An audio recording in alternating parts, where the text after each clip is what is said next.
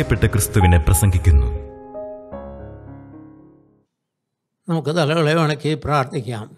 സർവാധിപതിയും സർവശക്തനുമായ ജീവനുള്ള ദൈവമേ സകലത്തിന്റെ ഉടയവനെ ഈ വേണ്ടകടാത്തെ മുഴുവനായി മനഞ്ഞവനെ ഞങ്ങളെ ഈ ഭൂമിയിൽ എവിടെയാണെന്നും ഞങ്ങളുടെ ജീവിതം എന്തെന്നും ഞങ്ങളുടെ കുറവുകൾ എന്തെന്നും ഞങ്ങളുടെ നന്മ എന്തെന്നും കാണുന്ന ആ ജീവനുള്ള ദൈവമേ ഞങ്ങളുടെ ആളത്വത്തെ വിശദാംശങ്ങൾ പരിശോധിച്ച് ഞങ്ങളെ ശുദ്ധീകരിച്ച് നിന്റെ വരവിന് വേണ്ടി ഞങ്ങൾ ഒരുക്കണമേ. ഞങ്ങളുടെ ഹൃദയത്തിൽ നിർമ്മല തരണമേ. അനുതാപമുള്ള ഹൃദയം നൽകണമേ. പാപത്തെക്കുറിച്ച് ആഴമായി ബോധ്യം തരണമേ. ഞങ്ങളൊന്നുമില്ലാത്തവരെന്ന് ഏതുമില്ലാത്തവരെന്ന് തിരിച്ചറിവ് മരണത്തോളം ഞങ്ങൾക്ക് തരണമേ. എളിമയുള്ള ഒരു ഹൃദയം തരണമേ. താഴ്മ ധരിപ്പിക്കണമേ. കർത്താവെ അവിടുത്തെ നാമമഹത്വത്തിനായി ചെലവാകുവാനും ചെലവിടപ്പെടുവാനും ഞങ്ങൾക്ക് ഭാഗ്യം തരണമേ. കൂട്ടായ്മയും മറ്റും പരിപാലിക്കണമേ. ഭൂലോകം മുഴുവൻ ഉണർവ് വീണ്ടും വ്യാപരിക്കണമേ. നന്മയ്ക്ക് അടയാളം നൽകണമേ അർത്താവേ അവിടുത്തെ നാമത്തിൽ വിശുദ്ധിയെ തികച്ച് വേലയെ തികച്ച് സ്തുതിയെ തികച്ച് അക്കരനാട്ടിലെത്തുവാൻ ഞങ്ങളെയും ഒരുക്കണമേ. വചനം കേട്ട ഒരു കുഞ്ഞും നശിച്ചു പോകാൻ നീ സമ്മതിക്കരുത് ഏർത്താവേ നിത്യദാശത്തിന് അർഹരാകരുത് ഏർത്താവേ അപ്പോൾ അനേകർ രോഗികളായി അവശതയിൽ കഴിയുന്നു. ബുദ്ധിമുട്ടിൽ കഴിയുന്നു പണസംബന്ധമായ ഞെരുക്കത്തിൽ കഴിയുന്നു. കർത്താവ് എല്ലാറ്റിനും പരിഹാരം. നിന്റെ സന്നിധിയിലുള്ളതിനാ സ്തോത്രം. നിന്റെ വചനമായ ഞങ്ങളെ ശുദ്ധീകരിക്കണമേ. വചനത്താൽ ഞങ്ങളെ കഴുകണമേ. നിന്റെ തിരക്തം ഞങ്ങളുടെ മേൽ ശക്തിയോടെ വ്യാപരിക്കണമേ. ഞങ്ങളുടെ ആളത്വത്തെ വിശദാംശങ്ങളിൽ നിന്റെ രക്തത്താൽ കഴിയെ ശുദ്ധീകരിക്കണമേ. ഇന്ന് വചനം സംസാരിക്കുന്ന മക്കളെ ശക്തീകരിക്കണമേ. സാക്ഷ്യം പറയുന്ന മക്കളെ ശക്തീകരിക്കണമേ. പാട്ടുപാടുന്ന മക്കളെ അനുഗ്രഹിക്കണമേ. എല്ലാറ്റിലും നിന്റെ കൃപ കൂടെ ഇരിക്കണമേ. പിതാവിന്റെയും പുത്രന്റെയും ചെയ്യുള്ള പരിശുറുവായുടെയും നാമത്തിൽ തന്നെ ആമേ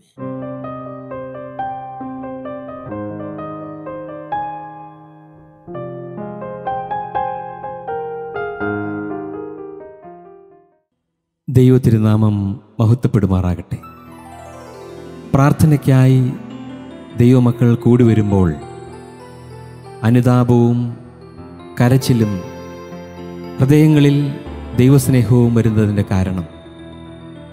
പരിശുദ്ധാത്മാവ് നമുക്ക് പാപബോധം തരികയും നമ്മുടെ അനേകമായ പാപങ്ങൾ കണ്ടു എങ്കിലും നമ്മുടെ പാപത്തിന്റെ പരിഹാരമായി യേശു കുരിശിൽ മരിച്ചുവെന്നും പടയാളികളിൽ ഒരുത്തൻ കുന്തം കൊണ്ട് കുത്തിയപ്പോൾ ഒഴുകിയ നീരും ചോരയും എനിക്ക് വേണ്ടിയിട്ടാണെന്ന് വ്യക്തിപരമായി നാം വിശ്വസിക്കുകയും ചെയ്യുമ്പോൾ നമുക്ക് ലഭിക്കുന്ന പാപക്ഷമ വളരെ വലുതാണ്.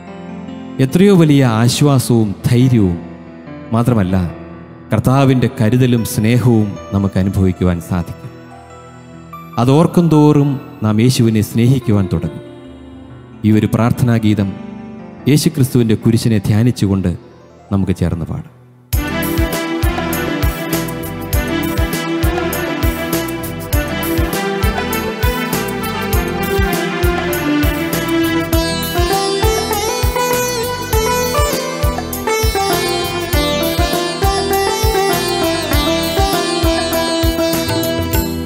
പാപനിവാരണനേ എൻ പാപഭാരങ്ങൾ അകറ്റിയോരേ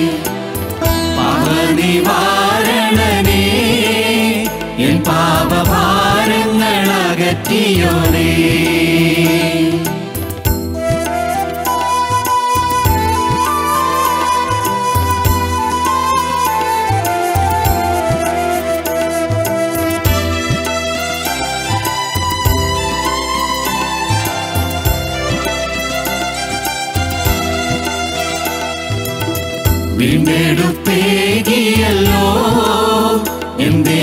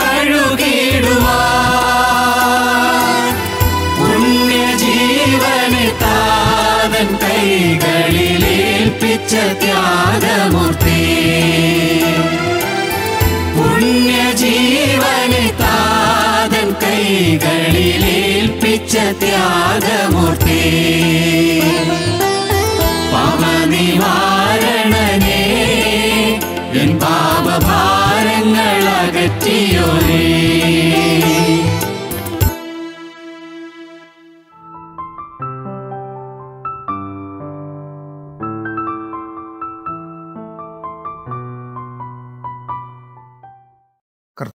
യേശുക്രിസ്തുവിന്റെ അതിപരിശുദ്ധ നാമം മൗത്തപ്പെടുമാറാകട്ടെ. ഇന്നത്തെ അല്പനേരത്തെ ചിന്തയ്ക്കായിട്ട് വേദപുസ്തകത്തിൽ നിന്ന് ഒരു വാക്യം വായിക്കാം.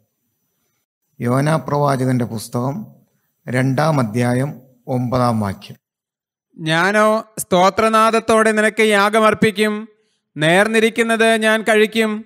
രക്ഷ യഹോവയുടെ പക്കൽ നിന്ന് വരുന്നു. ദൈവിക നിയോഗത്തിൽ നിന്ന് ഒളിച്ചോടിയ പ്രവാചകൻ മത്സ്യത്തിന്റെ ഉദരത്തിൽ കിടന്നുകൊണ്ട് ഒരു പുനഃസമർപ്പണം എടുക്കുകയാണ്.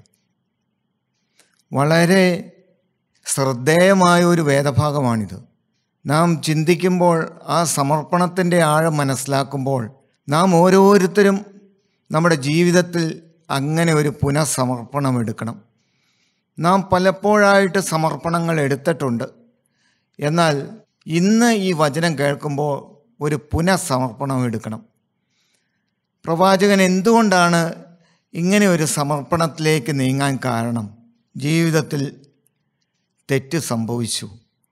ജീവിതത്തിൽ അനുസരണക്കേട് സംഭവിച്ചു. സ്വർഗത്തിലെ ദൈവത്തിന്റെ അരുളപ്പാട് നീ നിനുവയിലേക്ക് ചെന്ന് അതിന് വിരോധമായി പ്രസംഗിക്കുക എന്നായിരുന്നു. എന്നാൽ പ്രവാചകൻ അതിന് വിരുദ്ധമായി കിഴക്കോട്ട് നിനുവയിലേക്ക് പോകുന്നതിന് പകരം നേരെ പടിഞ്ഞാറോട്ട് തർശീസിന് പോകുവാൻ കപ്പൽ കയറി. ആ കടലിൽ ആ സമുദ്രത്തിൽ വലിയ പെരുങ്കാറ്റടിപ്പിച്ചു. നിത്യനായ ദൈവം തന്നെയാണ് ആ പെരുങ്കാറ്റടിപ്പിച്ചത്. കപ്പലിന് മുമ്പോട്ട് പോകാൻ പറ്റാതെയായി. വലിയ കൊടുങ്കാറ്റ് സമുദ്രത്തിൽ കപ്പലിൽ യാത്ര ചെയ്യുന്നവർക്ക് ആകെ പ്രയാസം. കപ്പലിലെ ചരക്കുകളെല്ലാം വലിച്ചെറിയുന്നു. കപ്പൽ പ്രമാണി ആകെ ഭയപ്പെടുന്നു. എല്ലാത്തിന്റെയും കാരണം ഒരു പ്രവാചകനാണ്. പ്രവാചകന്റെ അനുസരണക്കേടാണ് ഇതിനെല്ലാം കാരണമായി തീർന്നത്. എന്നാൽ സ്വർഗത്തിലെ ദൈവം ആ പ്രവാചകനെ തള്ളിക്കളഞ്ഞില്ല. ആ പ്രവാചകനെ ഉപേക്ഷിച്ച് കളഞ്ഞില്ല. ഒന്നാമത്തെ അധ്യായം അവസാനിക്കുമ്പോൾ ദൈവം ഒരു മത്സ്യത്തെ കൽപ്പിച്ചാക്കി. പ്രവാചകനെ വിഴുങ്ങുന്നു. പ്രവാചകൻ ആ മത്സ്യത്തിന്റെ ഉള്ളിലിരുന്നു കൊണ്ട് മൂന്ന് രാവും മൂന്ന് പകലും ദൈവത്തോട് പ്രാർത്ഥിക്കുന്നു. എന്താണ് ആ പ്രാർത്ഥന? അതെല്ലാം ആ രണ്ടാം അധ്യായത്തിൽ നമുക്ക് വായിച്ച് മനസ്സിലാക്കാൻ സാധിക്കും. ആ രണ്ടാമത്തെ അധ്യായം മൂന്ന് ആശയങ്ങളുണ്ട്. ഒന്നാമത്തെ കാര്യം പ്രവാചകൻ പ്രാർത്ഥിക്കുന്നു. രണ്ടാമത്തെ ആശയം പ്രവാചകൻ പ്രത്യാശയോടെ ദൈവസന്നിധിയിലിരിക്കുന്നു. മൂന്നാമത്തെ കാര്യം ദൈവസന്നിധിയിൽ പ്രവാചകൻ പ്രതിജ്ഞ എടുക്കുന്നു. ഒന്നാമത്തത് പ്രാർത്ഥന രണ്ടാമത്തത് പ്രത്യാശ മൂന്നാമത്തത് പ്രതിജ്ഞ. ഈ യോനാ പ്രവാചകൻ പ്രാർത്ഥിക്കുന്ന പ്രാർത്ഥനയ്ക്ക് ചില സവിശേഷതകളുണ്ട്. ഒന്നാമത്തെ സവിശേഷത അവൻ ദൈവസന്നിധിയിൽ നിലവിളിക്കുന്നു. രണ്ടാമത്തത് അവൻ ദൈവസന്നിധിയിൽ അയ്യം വിളിച്ച് കരയുന്നു. മൂന്നാമത്തത് തന്റെ തനതായ അവസ്ഥ മനസ്സിലാക്കിക്കൊണ്ട് ദൈവസന്നിധിയിൽ വിലപിക്കുന്നു കരയുന്നു. ദൈവമക്കളെ ഒരു വ്യക്തി അനുതാപത്തോടെ ദൈവസന്നിധിയിൽ ഇരിക്കുമ്പോൾ അവൻ നിലവിളിക്കും. അവൻ തന്റെ തനതായ അവസ്ഥ മനസ്സിലാക്കിക്കൊണ്ട് ദൈവസന്നിധിയിൽ കരയാൻ തുടങ്ങും. അവിടെ പ്രവാചകൻ പറയുന്ന ഒരു വാക്കുണ്ട്. യോന പ്രവാചകന്റെ പുസ്തകം രണ്ടാം അധ്യായത്തിന്റെ നാലാം വാക്യം. നിന്റെ ദൃഷ്ടിയിൽ നിന്ന് എനിക്ക് നീക്കം വന്നിരിക്കുന്നു. എങ്കിലും ഞാൻ നിന്റെ വിശുദ്ധ മന്ദിരത്തിങ്കിലേക്ക് നോക്കിക്കൊണ്ടിരിക്കുമെന്ന് ഞാൻ പറഞ്ഞു. നിന്റെ ദൃഷ്ടിയിൽ നിന്ന് എനിക്ക് നീക്കം വന്നിരിക്കുന്നു. ശരിയായ ഒരു കാഴ്ചപ്പാടിലേക്ക് പ്രവാചകൻ എത്തിച്ചേർന്നു. ദൈവത്തിന്റെ ദൃഷ്ടിയിൽ നിന്ന് ഞാൻ മാറിപ്പോയിരിക്കുന്നു. ഞാൻ നീക്കം വന്നിരിക്കുന്നു.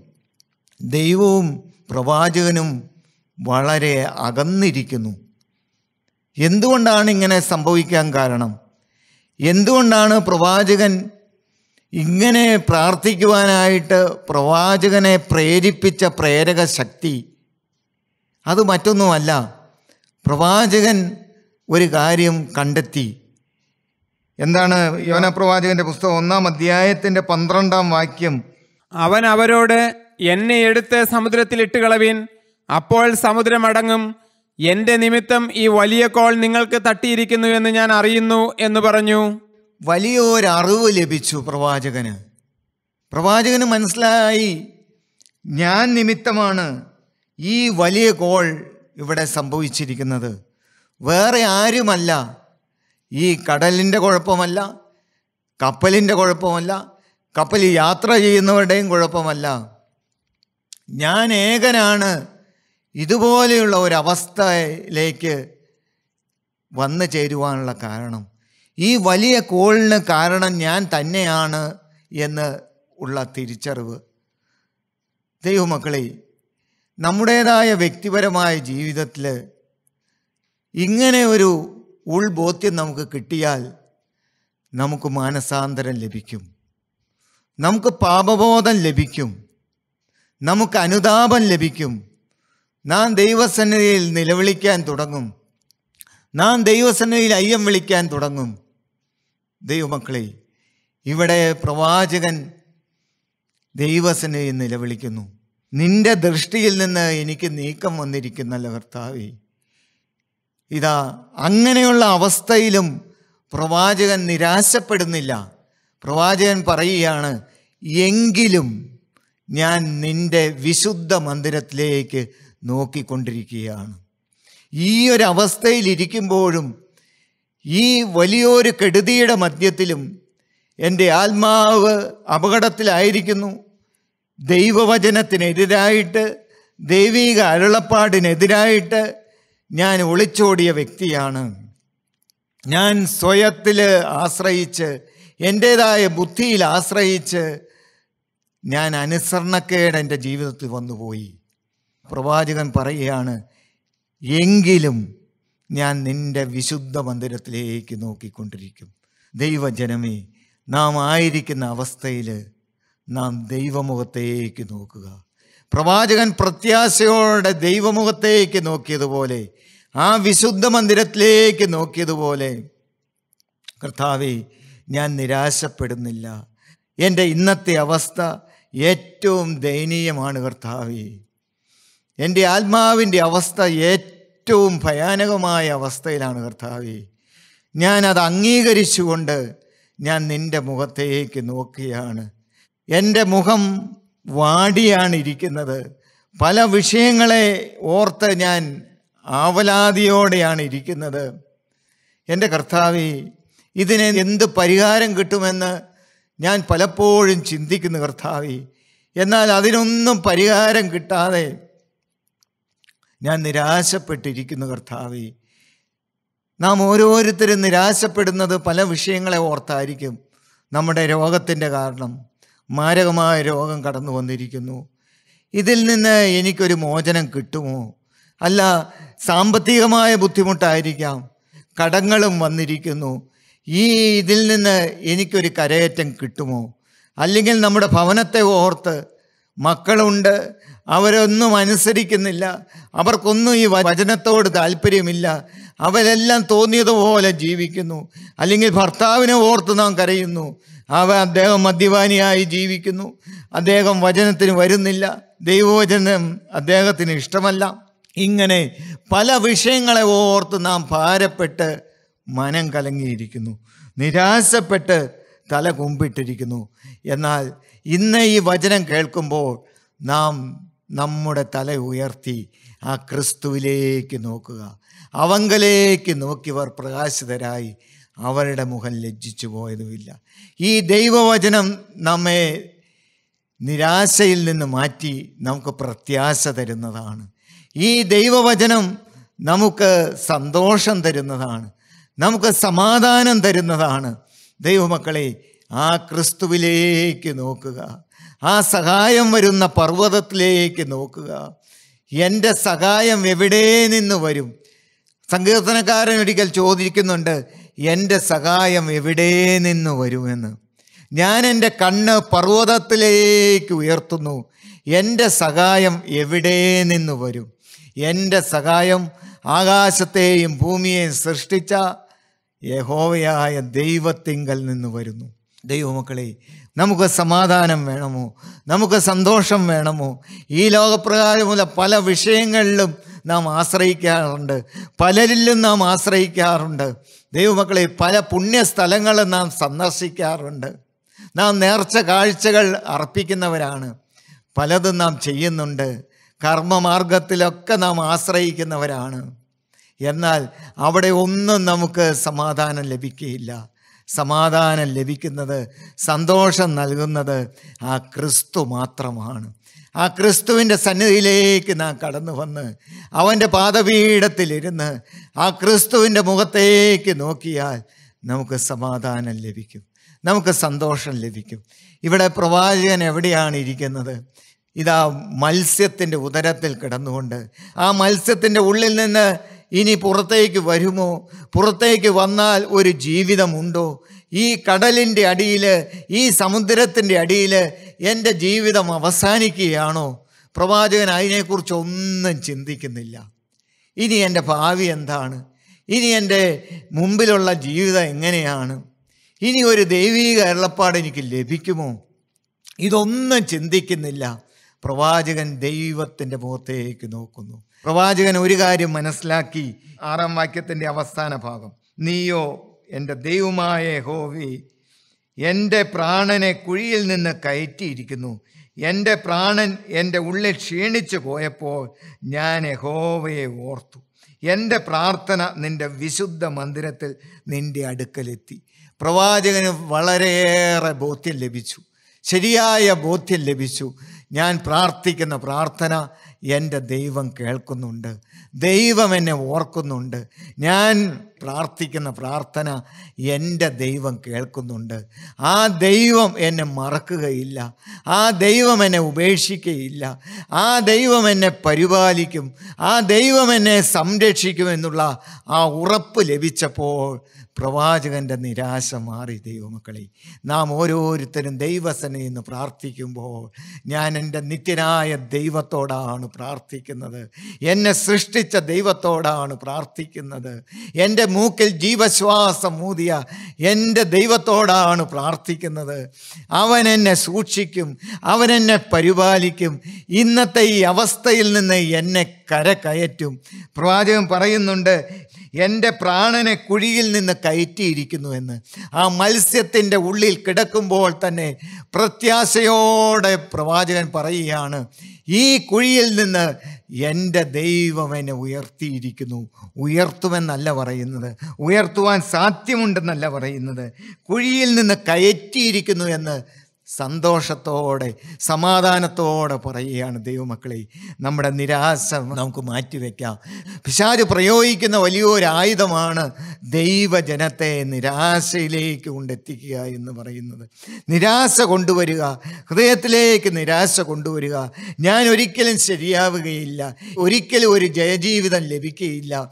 ഞാൻ ഇങ്ങനെ ഇങ്ങനെ പോവുകയുള്ളൂ എന്റെ കുടുംബം ഇങ്ങനെ ആയി പോകുന്നു. എനിക്ക് ഒരു പ്രത്യാശയില്ല. എനിക്കൊരു പ്രതീക്ഷയുമില്ല എനിക്കൊരു ഭാവിയുമില്ല. ദൈവമക്കളെ നിരാശപ്പെടുന്നവരുണ്ട്. ഇന്നത്തെ തലമുറയിലേക്ക് നോക്കുമ്പോൾ അനേകം യുവതി യുവാക്കന്മാർ മോഹഭംഗത്തിനടിമയാണ്. ഫസ്ട്രേറ്റഡ് ജനറേഷനായി മാറിയിരിക്കുന്നു. ഒരു പ്രത്യാശയുമില്ല ഒരു പ്രതീക്ഷയുമില്ല. അവർക്ക് ഒരു ഭാവി ഉണ്ടെന്നുള്ള ചിന്ത പോലുമില്ല. മയക്കുമരുന്നിനും മദ്യപാനത്തിനും അടിമപ്പെട്ടുകൊണ്ട് അവരുടെ ജീവിതം അവർ നശിപ്പിക്കുന്നു. ദൈവമക്കളെ ഇന്ന് ഈ വചനം കേൾക്കുമ്പോൾ നാം ഓരോരുത്തരും ദൈവമുഖത്തേക്ക് നോക്കണം. എന്റെ യേശുവേ ഞാൻ നിന്റെ മുഖത്തേക്ക് നോക്കുന്നു. ഞാൻ നിന്നിൽ ആശ്രയിക്കുന്നു. ഞാൻ നിരാശപ്പെടുന്നില്ല. എന്നെ വിളിച്ചവൻ എന്നെ ഇത്രത്തോളം കൊണ്ടുവന്നവൻ എന്നെ ഇത്രത്തോളം നടത്തിയവൻ നീയാണ് കർത്താവേ. ഇനിയും നടത്തുവാൻ നീ സർവശക്തനാണ്.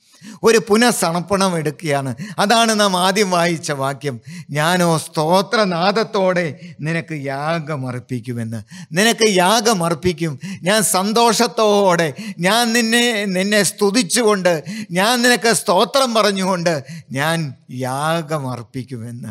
മാത്രമല്ല ഞാൻ നേർന്നിരിക്കുന്നത് കഴിക്കുമെന്ന്. ഒരിക്കൽ നേർന്നത് കഴിച്ചില്ല കർത്താവി. എന്നാൽ എന്റെ ദൈവമേ ഞാനൊരു പുതിയ സമർപ്പണം പുതിയൊരു ഉടമ്പടി നിന്റെ സന്നിധിയിൽ എടുക്കുകയാണ് ഞാൻ നേർന്നിരിക്കുന്നത് കഴിക്കും. ദൈവമക്കളെ ഇന്ന് നമുക്ക് പുതിയൊരു തീരുമാനം എടുക്കണം. ഇന്നൊരു സമർപ്പണം എടുക്കണം. എന്താണ് സമർപ്പണം എടുക്കുന്നത്? ഇതുവരെയും എടുത്ത സമർപ്പണം അതിലെല്ലാം പരിമിതികൾ ഉണ്ടായിരുന്നു അതെല്ലാം അപൂർണമാണ് കർത്താവെ. അതിലെല്ലാം കർത്താവെ തെറ്റുകൾ ഉണ്ടായിരുന്നു പോരായ്മകൾ ഉണ്ടായിരുന്നു എന്നാൽ അത് മനസ്സിലാക്കിക്കൊണ്ട് അതെല്ലാം പോക്കുന്ന കർത്താവെ പുതിയൊരു തീരുമാനം പുതിയൊരു സമർപ്പണം ഞാൻ നിന്റെ സന്നിധിയിൽ എടുക്കുകയാണ് കർത്താവെ. നമുക്ക് ഓരോരുത്തർക്കും ദൈവസന്നിധിയിൽ ഒരു പുതിയ സമർപ്പണം എടുക്കാം. യവന പ്രവാചകൻ ദൈവസന്നിധിയിൽ സമർപ്പണം എടുത്തപ്പോൾ പുതിയൊരു ഉടമ്പടി ചെയ്തപ്പോൾ പുതിയൊരു പ്രതിജ്ഞ എടുത്തപ്പോൾ എന്താണ് സംഭവിച്ചത്? അവനെ മത്സ്യം കരയ്ക്ക് ഛർദ്ദിച്ചു ഞാൻ ഓർക്കുകയായിരുന്നു ആ പ്രവാചകനെ സമുദ്രത്തിന്റെ അടിത്തട്ടിൽ ഛർദ്ദിച്ചിടാതെ ദൈവം കൽപ്പിച്ച സ്ഥലത്ത് തന്നെ ആ മത്സ്യം അവനെ ഛർദ്ദിച്ചു അങ്ങനെ അവൻ കരയിലേക്ക് വന്ന് രക്ഷപ്പെട്ടു. ദൈവം തന്റെ പ്രവാചകനെ സംരക്ഷിക്കുകയാണ്. ആ പ്രാർത്ഥിക്കുന്ന പ്രവാചകനെ പ്രത്യാശയോടെ ഇരിക്കുന്ന പ്രവാചകനെ ദൈവസന്നയിൽ ഉടമ്പടി എടുത്ത പ്രവാചകനെ ദൈവം സംരക്ഷിക്കുകയാണ്. ദൈവം പരിപാലിക്കുകയാണ് ദൈവമക്കളെ. മാത്രമല്ല അവന് രണ്ടാമത്തെ കാര്യം എന്താണ്? വീണ്ടും അരുളപ്പാട് ലഭിക്കുകയാണ്. ദൈവീകമായ അരുളപ്പാട് ലഭിക്കുകയാണ്. ദൈവീക സന്ദേശം അവന് ലഭിക്കുകയാണ്. അതാണ് മൂന്നാം അധ്യായത്തിൽ നാം കാണുന്നത്. യഹോവയുടെ അളപ്പാട് രണ്ടാം പ്രാവശ്യം യോനയ്ക്ക് ലഭിക്കുകയാണ്. വീണ്ടും അരുളപ്പാട് ലഭിക്കുകയാണ്. പ്രവാചകനെ കൊണ്ട് തന്നെ ഈ സമർപ്പണം എടുത്ത് ഈ തീരുമാനമെടുത്ത് ആ അരുളപ്പാട് കൊടുക്കുകയാണ്. ആ നിനുവയിലേക്ക് പ്രവാചകനെ തന്നെ സ്വർഗത്തിലെ ദൈവം പറഞ്ഞയക്കുകയാണ്. ദൈവമക്കളെ മൂന്നാമത്തെ കാര്യം എന്താണ്? വലിയൊരു മാനസാന്തരം അവിടെ നടക്കുന്നു. ജനം തങ്ങളുടെ ദുർമാർഗങ്ങളെ വിട്ട് തിരിയുന്നത് അവരുടെ പ്രവൃത്തികളാൽ കണ്ടപ്പോൾ നിത്യനായ ദൈവം ആ അനർത്ഥത്തെക്കുറിച്ച് അനുദപിച്ചു. വരുത്തിയതുമില്ല എന്ന് ആ മൂന്നാം അധ്യായം അവസാന ഭാഗത്ത് നാം വായിക്കുന്നു. ദൈവമക്കളെ ഇത് സ്വർഗത്തിലെ ദൈവം ഇതാ സമർപ്പണമെടുത്ത ആ പ്രവാചകനെ തന്നെ ഉപയോഗിക്കുകയാണ്. പ്രവാചകനെ പരിപാലിക്കുകയാണ്. ആ കൊടുങ്കാറ്റിൽ നിന്ന് രക്ഷപ്പെടുത്തി ആ മത്സ്യത്തിന്റെ ഉള്ളിൽ നിന്ന് രക്ഷപ്പെടുത്തി ഇതാ നിലവയിലേക്ക് പ്രവാചകനെ പറഞ്ഞയക്കുന്നു. ഏറ്റവും വലിയ മാനസാന്തരത്തിന് ദൈവം ഉപയോഗിക്കുന്നു. ഒരു ലക്ഷത്തി ഇരുപതിനായിരത്തി ചില്ലാനും പേരുള്ള ആ മഹാനഗരത്തെ ഇതാ ദൈവം രക്ഷിക്കുന്നു. അതിനെ യോനയെ തന്നെ ദൈവം ഉപയോഗിക്കുന്നു. ദൈവമക്കളെ ഇന്ന് ഈ വചനം കേൾക്കുമ്പോൾ ദൈവം നമ്മെ ഉപയോഗിക്കുവാൻ ആവലോടെ നിൽക്കുകയാണ്. ദൈവത്തിന്റെ കരങ്ങളിലേക്ക് നിന്റെ ജീവിതം സമർപ്പിക്കുമോ? ദൈവമക്കളെ ഇന്ന് ഈ വചനം കേൾക്കുമ്പോൾ അതിന് പറ്റിയ സന്ദർഭമാണ്. നാം ഓരോരുത്തരും ക്രിസ്തുവിന്റെ വചനമാണ് കേൾക്കുന്നത്. യഥാസ്ഥാനപ്പെടുത്തുന്ന ദൈവത്തിന്റെ വചനമാണ് കേൾക്കുന്നത്. ഇതാ പ്രത്യാശ നൽകുന്ന ദൈവത്തിന്റെ വചനമാണ് കേൾക്കുന്നത്. നാം അനുതാപത്തോടെ ദൈവസന്നിധിയിൽ മുട്ടുമടക്കുക. നമ്മുടെ കണ്ണുനീരോടെ നാം ദൈവസന്നിധിയിൽ മുട്ടുമടക്കുക ദൈവമക്കളെ. കണ്ണുനീര് നഷ്ടപ്പെട്ടു പോയോ? അനുതാപം നഷ്ടപ്പെട്ടു പോയോ? ഒന്ന് ശാന്തമായി ചിന്തിക്കണമേ ദൈവമക്കളെ. പണ്ട് വചനം കേൾക്കുമ്പോൾ നമുക്ക് കണ്ണീരുണ്ടായിരുന്നു നാം ദൈവസന്നിധി നിലവിളിക്കുമായിരുന്നു. ഇന്ന് വചനം കേൾക്കുമ്പോഴും കല്ലിച്ച ഹൃദയവുമായിട്ടാണോ നാം ഇരിക്കുന്നത്. ഇന്ന് ഹൃദയ നുറുക്കത്തോടെ നമുക്ക് ദൈവസന്നിധി മുട്ടുമടക്കാം. കർത്താവെ ഞാൻ നിന്റെ അടുക്കലേക്ക് വരുന്നു. നിന്റെ സന്നിധിയിൽ മുട്ടുമടക്കുന്നു. ദൈവമക്കളെ നമുക്ക് കടന്നു വരാ. ദൈവസന്നിധിയിൽ നമ്മെ തന്നെ ഏൽപ്പിച്ചു കൊടുക്കാം. കർത്താവെ ഞാനിതാ എന്നെ തന്നെ സമർപ്പിക്കുന്നു. ഇന്ന് ഒരു സമർപ്പണം പുതിയതായിട്ട് എടുക്കുന്നു കർത്താവെ. എന്റെ കർത്താവെ എന്നേക്കുമായി ഒരു സമർപ്പണം ഒരു പുതിയ സമർപ്പണം ഞാൻ നിന്റെ സന്നിധിയിൽ എടുക്കുകയാണ് കർത്താവെ. എന്നെ കൈവിട്ട് കളയല്ലേ കർത്താവെ. എന്നെ ഉപേക്ഷിച്ച് കളയല്ലേ കർത്താവെ. എന്റെ അവിശ്വാസം എന്നോട് ക്ഷമിക്കണമേ കർത്താവെ. എന്റെ അനുസരണക്കേട് എന്നോട് ക്ഷമിക്കണമേ കർത്താവേ. എന്റെ കർത്താവേ ഞാനിതാ വരുന്നു. ദൈവമക്കളെ നിങ്ങൾക്ക് പ്രാർത്ഥിക്കുവാൻ തോന്നുന്നുണ്ടോ? നിങ്ങൾക്ക് സമർപ്പിക്കുവാൻ തോന്നുന്നുണ്ടോ? അനുതാപത്തോടെ ആ മുറിഞ്ഞ കാൽപാദത്തിൽ ഇരിക്കാൻ തോന്നുന്നുണ്ടോ? ആ മുറിഞ്ഞ കാൽപാദവുമായി ആ മുറിഞ്ഞ കൈകാലുകളുമായി ഹാലേലുയ ആ ക്രിസ്തു കടന്നു വന്നിട്ടുണ്ട്. ആ വിലാപ്പുറത്തേക്ക് നിങ്ങൾ ആരും നോക്കും ഹാലേലുയ എനിക്ക് വേണ്ടി മുറിവേറ്റ ക്രിസ്തുവിനെ നിങ്ങൾ ആര് കാണും ദൈവമക്കളെ? നമ്മൾ ഓരോരുത്തരും കടന്നു വന്നിരിക്കുന്ന ആ ക്രിസ്തുവിന്റെ സന്നിധിയിലാണ്. നമ്മെ തന്നെ സമർപ്പിക്കാം. കാലലുയ അവൻ അത്ഭുത മന്ത്രിയാണ് ദൈവമക്കളെ. വീരനാം ദൈവമാണ്. നിത്യപിതാവാണ്. സമാധാന പ്രഭുവാണ്. ആ ക്രിസ്തുവിന്റെ സന്നിധിയിൽ നമ്മെ തന്നെ സമർപ്പിച്ചുകൊണ്ട് നമുക്ക് പ്രാർത്ഥിക്കാം. വാഴ്ത്തപ്പെട്ട ദൈവമേ സ്വർഗീയ പിതാവേ കേൾപ്പിച്ച വചനങ്ങൾക്കായി നിന്നെ സ്തുതിക്കുന്നു സ്തോത്രം ചെയ്യുന്നു. അനുതാപ ഹൃദയത്തോടെ പ്രത്യാശയോടെ പുതിയ സമർപ്പണത്തോടെ നിന്റെ സന്നിധിയിലേക്ക് കടന്നു വരുന്നു. കർത്താവേ എന്നെ രൂപാന്തരപ്പെടുത്തണമേ എന്നെ ശുദ്ധീകരിക്കണമേ എന്നെ നിന്റെ വേലയ്ക്ക് വേണ്ടി എന്നെ ഒരുക്കണമേ കർത്താവേ. അന്ത്യത്തോളം നിന്നെ ശുശ്രൂഷിച്ച് നിന്റെ വേല ചെയ്തുകൊണ്ട് നിത്യതയിൽ നിന്റെ സന്നിധിയിലേക്ക് ആ വിശുദ്ധന്മാർ കടന്നു വരുമ്പോൾ ആ സദസ്സിൽ താവേ ഒരു വിശുദ്ധനായി നിന്നുകൊണ്ട് താവേ നിന്നെ രണ്ടാമത്തെ എതിരേൽക്കുന്ന ആ സദസ്സിൽ ഞങ്ങൾക്കും കടന്നു വരണം. ഞങ്ങളെ അതിനു വേണ്ടി ഒരുക്കണമേ. അതിനു വേണ്ടി ഞങ്ങളെ സമർപ്പിക്കുന്നു. യേശു ക്രിസ്തുവിന്റെ അതിപരിശുദ്ധ നാമത്തിൽ തന്നെ. ആ.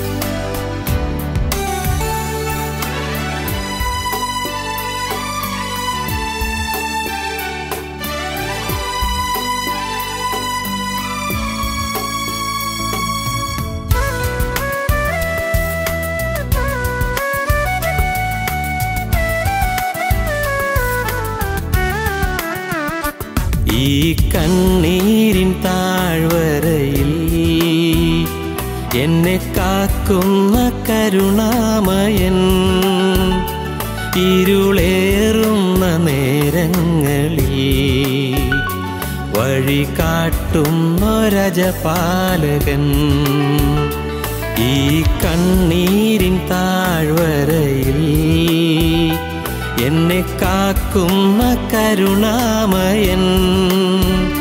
ഇരുളേറുന്ന നേരങ്ങളിൽ വഴി കാട്ടുന്നൊരജപാലകൻ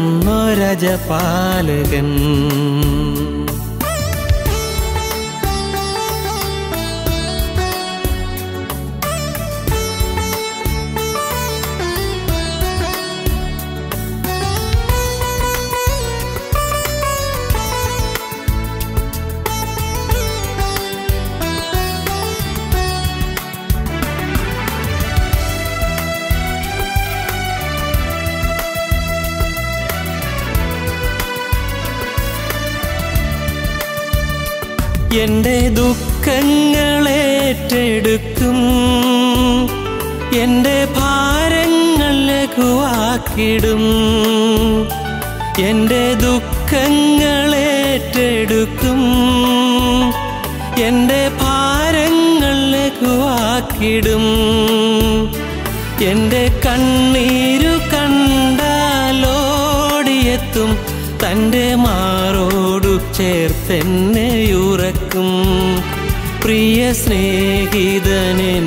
എന്നേശുനാഥൻ ഈ കണ്ണീരിൻ താഴ്വരയിൽ എന്നെ കാക്കുന്ന കരുണാമയൻ ഇരുളേറുന്ന നേരങ്ങളിൽ വഴി കാട്ടുന്നൊരജപാലകൻ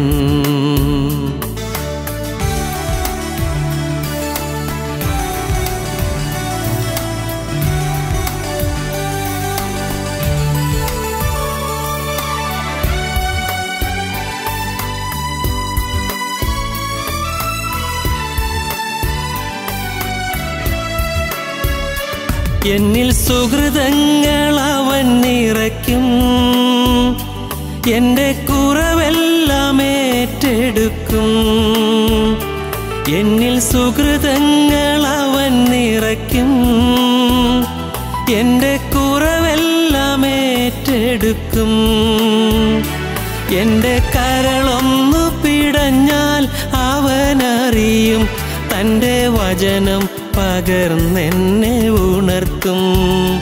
നല്ല സ്നേഹിതൻ എന്നേശുനാഥൻ ഈ കണ്ണീരിൻ താഴ്വരയിൽ എന്നെ കാക്കുന്ന കരുണാമയൻ. ഇരുളേറുന്ന നേരങ്ങളിൽ വഴി കാട്ടുന്നൊരജപാലകൻ ഈ കണ്ണീരിൻ താഴ്വരയിൽ എന്നെ കാക്കുന്ന കരുണാമയൻ ഇരുളേറുന്ന നേരങ്ങളിൽ വഴി കാട്ടുന്നൊരജപാലകൻ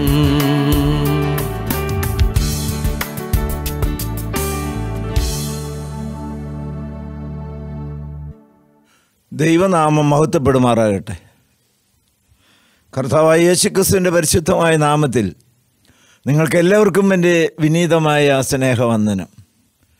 സാന്നിധ്യം തരാമെന്ന് പറഞ്ഞ കർത്താവായ യേശുക്രിസ്തുവിന്റെ പരിശുദ്ധമായ നാമത്തിൽ ഒന്നിച്ചു കൂടുമ്പോൾ മധ്യത്തിലേക്ക് കടന്നു വരാമെന്ന് പറഞ്ഞ കർത്താവായ യേശുക്രിസ്തുവിന്റെ വാഗ്ദത്വത്തിൽ വിശ്വസിച്ചുകൊണ്ട് നമുക്കും ചേർന്നിരിക്കാം.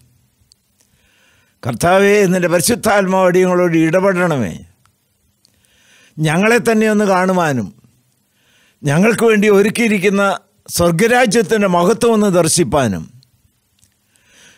അതിലേക്ക് പ്രവേശനം ലഭിക്കുവാൻ ഞങ്ങളെ യോഗ്യരാക്കി തീർക്കുവാൻ കാൽവറേൽപ്പിച്ച യാഗത്തിന്റെ മർമ്മം ഒന്ന് തിരിച്ചറിയുവാനും കൃപ തരണമേ എന്ന് നിങ്ങൾ ഓരോരുത്തരും പ്രാർത്ഥിച്ചുകൊണ്ടിരിക്കുക.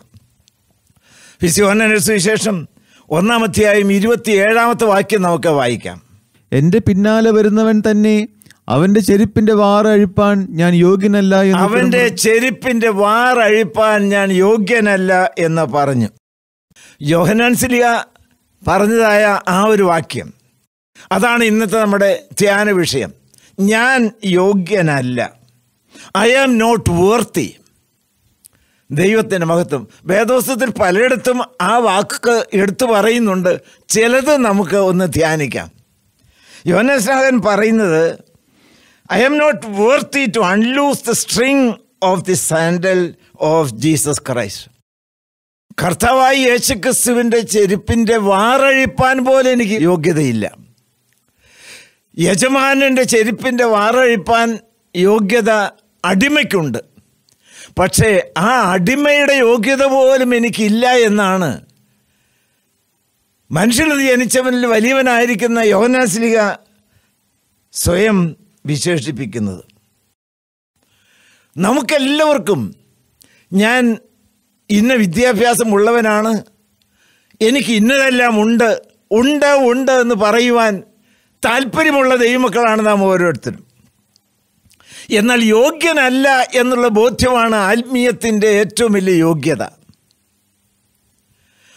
വിസി ഹോനാൻ സ്നാപകൻ പറയുന്ന ഒരു കാര്യമുണ്ട്. ഇത് വായിച്ചേ. ഒന്നാം അധ്യായത്തിന്റെ പത്തൊമ്പത് ഇരുപത് വാക്യങ്ങൾ. യോനാൻ സ്നാപകനോട് ചോദിച്ചു നീ ആരാണ്? അത്ഭുതങ്ങളും വീര്യപ്രവൃത്തികളും എല്ലാം ചെയ്യുന്ന നീ ആരാണ്? നീ വലിയ പ്രവാചകനോ വലിയ ദൈവശക്തിയുള്ള വ്യക്തിയാണോ? നീ ആരാണെന്ന് ചോദിച്ചപ്പോൾ എന്താണ് മറുപടി വായിച്ചു? നീ ആര് എന്ന് യോഹന്നാനോട് ചോദിക്കേണ്ടതിന് യഹൂദന്മാർ എരുസലേമിൽ നിന്ന് പുരോഹിതന്മാരെയും ലേവരെയും അവന്റെ അടുക്കൽ അയച്ചപ്പോൾ അവന്റെ സാക്ഷ്യം എന്തെന്നാൽ അവൻ മറുക്കാതെ ഏറ്റുപറഞ്ഞു ഞാൻ ക്രിസ്തു അല്ല എന്ന് ഏറ്റുപറഞ്ഞു. ദൈവത്തിന് സ്വ ഞാൻ അല്ല എന്ന് പറയുന്നതിനൊക്കെ വാക്ക് വലിയ ഇഷ്ടമാണ്. ഞാൻ ഏതാണ്ടൊക്കെ ആണ് എന്നല്ല പറയുന്നത്. അവിടെ തന്നെ പറഞ്ഞിരിക്കുന്നത് ഞാൻ ക്രിസ്തു അല്ല.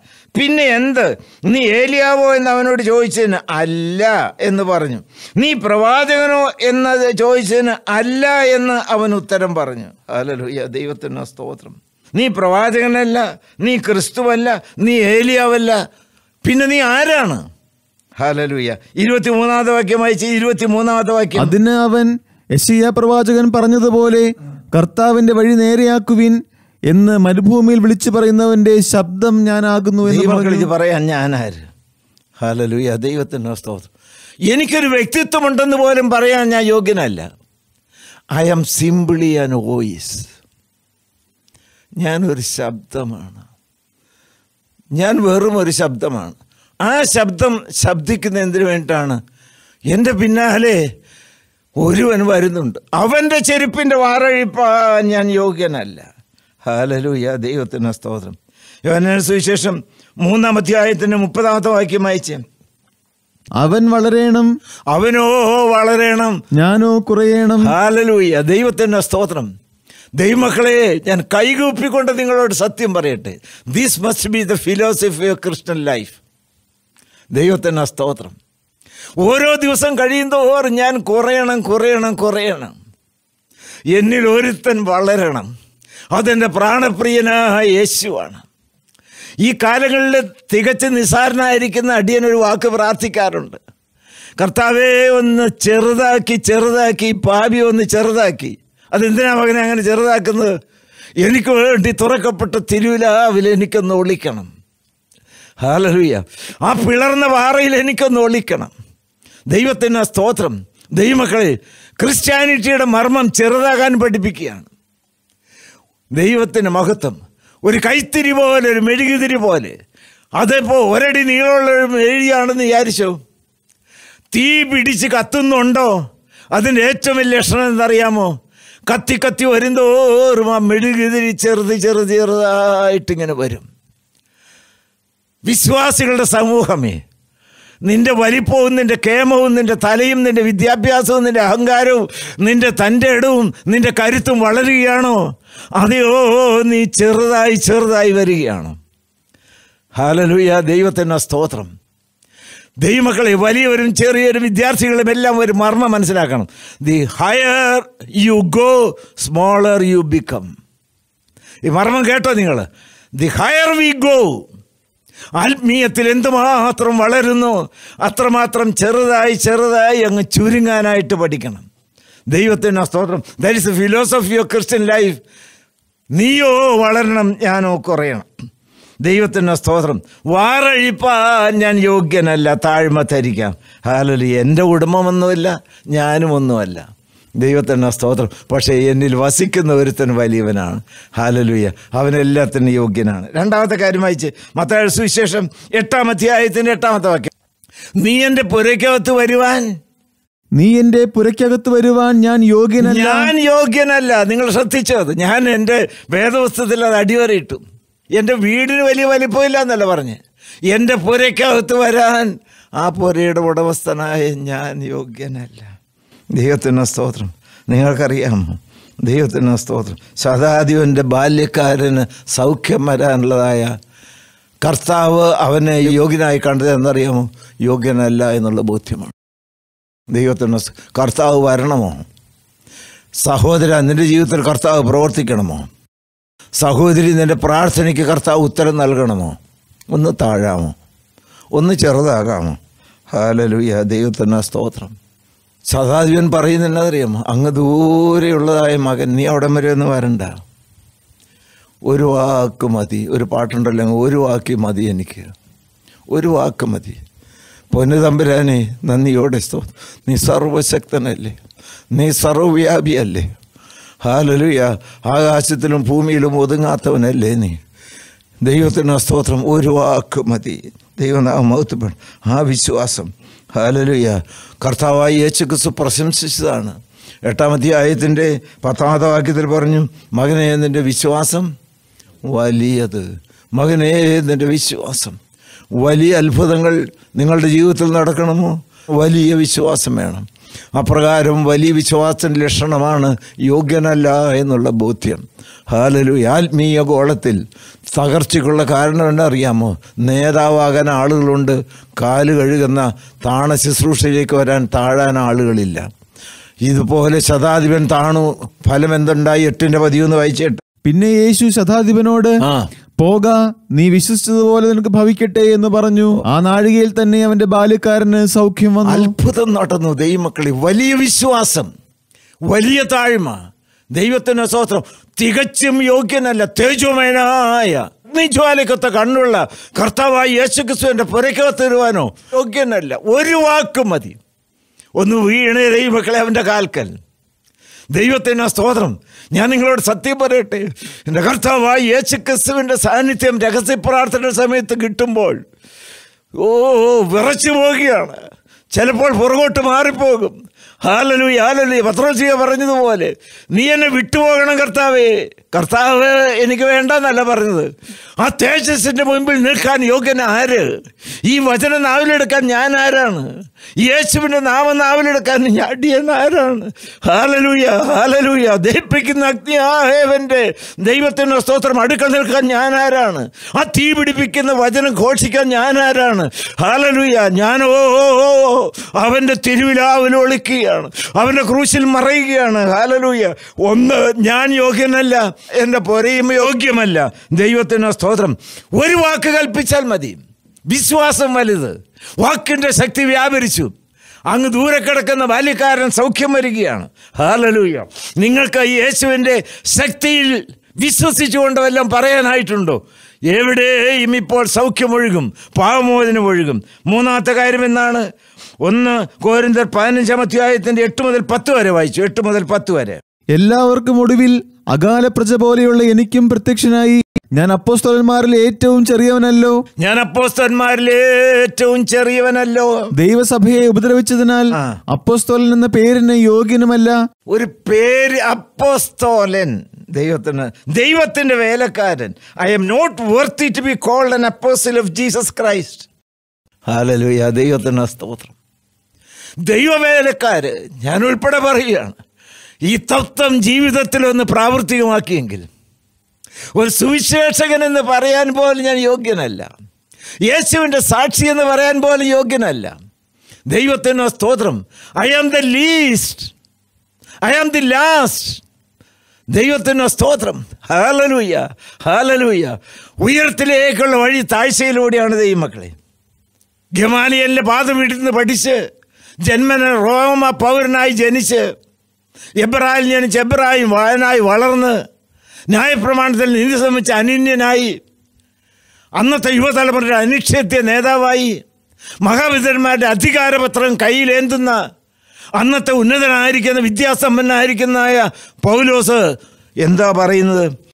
പതിനഞ്ചാം അധ്യായത്തിന്റെ പത്താമത്തെ വാക്യത്തിൽ ഞാൻ ആയിരിക്കുന്നത് ദൈവത്തിന്റെ കൃപയാലാകുന്നു. ഞാനായിരിക്കുന്നത് ദൈവത്തിന്റെ കൃപ. ഞാൻ എന്തുകൊണ്ടാണ് ഇവിടെ നിൽക്കുന്നത്? നൂറ് ശതമാനം എന്റെ പൊന്നു കർത്താവിന്റെ കൃപയാണ്. ഞാൻ വിനയത്തിന്റെ വാക്കുകൾ പറയുകയല്ല. വല്ലോ പട്ടിയെ പോലെ തല്ലിക്കൊന്ന് നടു റോഡിലിടേണ്ടതായിരുന്നു ഞാൻ ഈ ദിവസങ്ങളിൽ ചിന്തിച്ചു ഞാൻ ചെയ്യാത്ത ഏതെങ്കിലും ഒരു പാപമുണ്ടോ? പ്രകടമായ ലൈംഗിക വീഴ്ചയിലേക്കൊക്കെ പോയിട്ടില്ല എന്ന് എനിക്ക് അവകാശം പറയാം. പക്ഷേ എന്തെല്ലാം തരത്തിൽ ഞാൻ അശുദ്ധനാണ്. എന്തെല്ലാം മ്ലേച്ഛതകൾ പറ ചെയ്തതും പ്രവർത്തിയായ വ്യക്തിയാണ്. എന്നെ ഇവിടെ നിർത്തിയതോ? കൃപ കൃപ കൃപയാണ്. ഹലലുയ ദൈവത്തിന്റെ സ്തോത്രം. ഒന്ന് അവന്റെ വാറഴിപ്പാൻ ഞാൻ യോഗ്യനല്ല. രണ്ട് എന്റെ പുരയ്ക്കകത്ത് വരുവാൻ ഞാൻ യോഗ്യനല്ല. മൂന്ന് അപ്പോസ്തോൽ എന്ന പേരിന് പോലും ഞാൻ യോഗ്യനല്ല. ഹലലുയ നന്ദിയോടെ നന്ദിയോടെ സ്തോത്രം. ലൂക്കോസ് സുവിശേഷം പതിനഞ്ചാം അധ്യായത്തിന്റെ പത്തൊൻപതാമത്തെ വാക്യം. ഈ യോഗ്യതയെക്കുറിച്ച് പറയാൻ അടിയൻ എന്ത് യോഗ്യത? ഹാലലുയ ദൈവത്തിന്റെ സ്തോത്രം വായിച്ചു. ഇനി നിന്റെ മകൻ എന്ന പേരിന് ഞാൻ യോഗ്യനല്ല. ദൈവത്തിന് സ്തോത്രം. ഇനി നിന്റെ മകൻ എന്ന് വിളിക്കപ്പെടാൻ ഞാൻ യോഗ്യനല്ല. I am not worthy to be called thy son ദൈവമക്കളെ നിങ്ങൾ ദൈവസന്നിധിയിലേക്ക് വന്നോ. ഹാലലു ഹാലലു ഹാലലു അവനെ കൈക്കൊണ്ട് അവന്റെ നാമത്തിൽ വിശ്വസിക്കുന്ന ഏവർക്കും ദൈവമക്കളാകുവാൻ അവൻ അധികാരം കൊടുത്തു അവകാശം കൊടുത്തു. ദൈവത്തിന് സ്തോത്രം. ദൈവമക്കളെ പുത്രത്വത്തിന്റെ ആത്മാവിനെ നമുക്ക് തന്നില്ലേ? മുടിയൻ പുത്രൻ ആ വീട്ടിൽ സ്നേഹവാത്സല്യം അനുഭവിച്ച് മൃഷ്ടാന ഭോജനം കഴിച്ച് സുഖലോലുപനായി വിലയേറിയ വസ്ത്രങ്ങളെല്ലാം ധരിച്ച് സുഖസമൃദ്ധിയോടെ ജീവിച്ചവനല്ലേ? നന്ദിയോടെ സ്തോത്രം. അപ്പന്റെ സ്നേഹ സാന്നിധ്യത്തിന്റെ ചൂട് രുചിച്ചവനല്ലേ. അപ്പന്റെ തലോടൽ അനുഭവിച്ചവനല്ലേ. ആ വീട്ടിൽ കൂടി ഓടി നടന്നവനല്ലേ. ഇപ്പോഴെവിടെയാണ്? വൃത്തികെട്ട ദുർഗന്ധം മമിക്കുന്നതായ പന്നികളുടെ വാളവരയ്ക്ക് വേണ്ടി മല്ലടിച്ച് ആ ചെളിക്കുണ്ടിൽ കിടക്കുന്നതായ വൃത്തികെട്ടതായ അപ്പന്റെ മകനെ നിങ്ങൾക്കൊന്ന് കാണാമോ? ഹലലുയ്യ ഹലലുയ്യ ഹലലുയ്യ എന്തുമാത്രം ദൂരെ പോയി ദൈവമക്കളെ? ആ വാർദ്ധക്യത്തിലും പാവപ്പെട്ടടി ഇനി വാക്ക് നിങ്ങളോട് പറഞ്ഞ എന്തിനാണെന്നറിയാമോ? ഇന്ന് മടങ്ങി വരവിന്റെ ദിവസമായി മാറണം. ദൈവത്തിന് സ്തോത്രം. മടങ്ങി വരാനുള്ള ഒരു യോഗ്യത എന്നാണെന്നറിയാമോ ഇപ്പം എന്റെ മകനെന്ന് വിളിക്കപ്പെടാൻ യോഗ്യനല്ല. ഒത്തിരി തെറ്റ് വന്നു പോയി മയിലുകൾ നിന്റെ സന്നദ്ധിയിൽ നിന്ന് ഓടി ഒളിച്ചു പോയി പാപത്തിന്റെയും പിശാചിന്റെയും ലോകത്തിന്റെയും പിന്നാലെ കാലടികൾ എടുത്തു വെച്ച് മത്സരിച്ച് മറുതലിച്ച് പരിശുദ്ധാത്മാവിനോട് തറുതല പറഞ്ഞ് ദൈവമക്കളെ വിമർശിച്ചു അകന്നു പോയി കർത്താവേ. ഹാലലു യാലലു യാലലുയ എങ്കിലും നീ മറന്നെങ്കിലും ദൈവം നിന്നെ മറന്നിട്ടില്ല. ഈ വചനം നിങ്ങളെ തേടി വന്നിരിക്കുന്ന കാലച്ചയുടെ ശബ്ദമാണ്.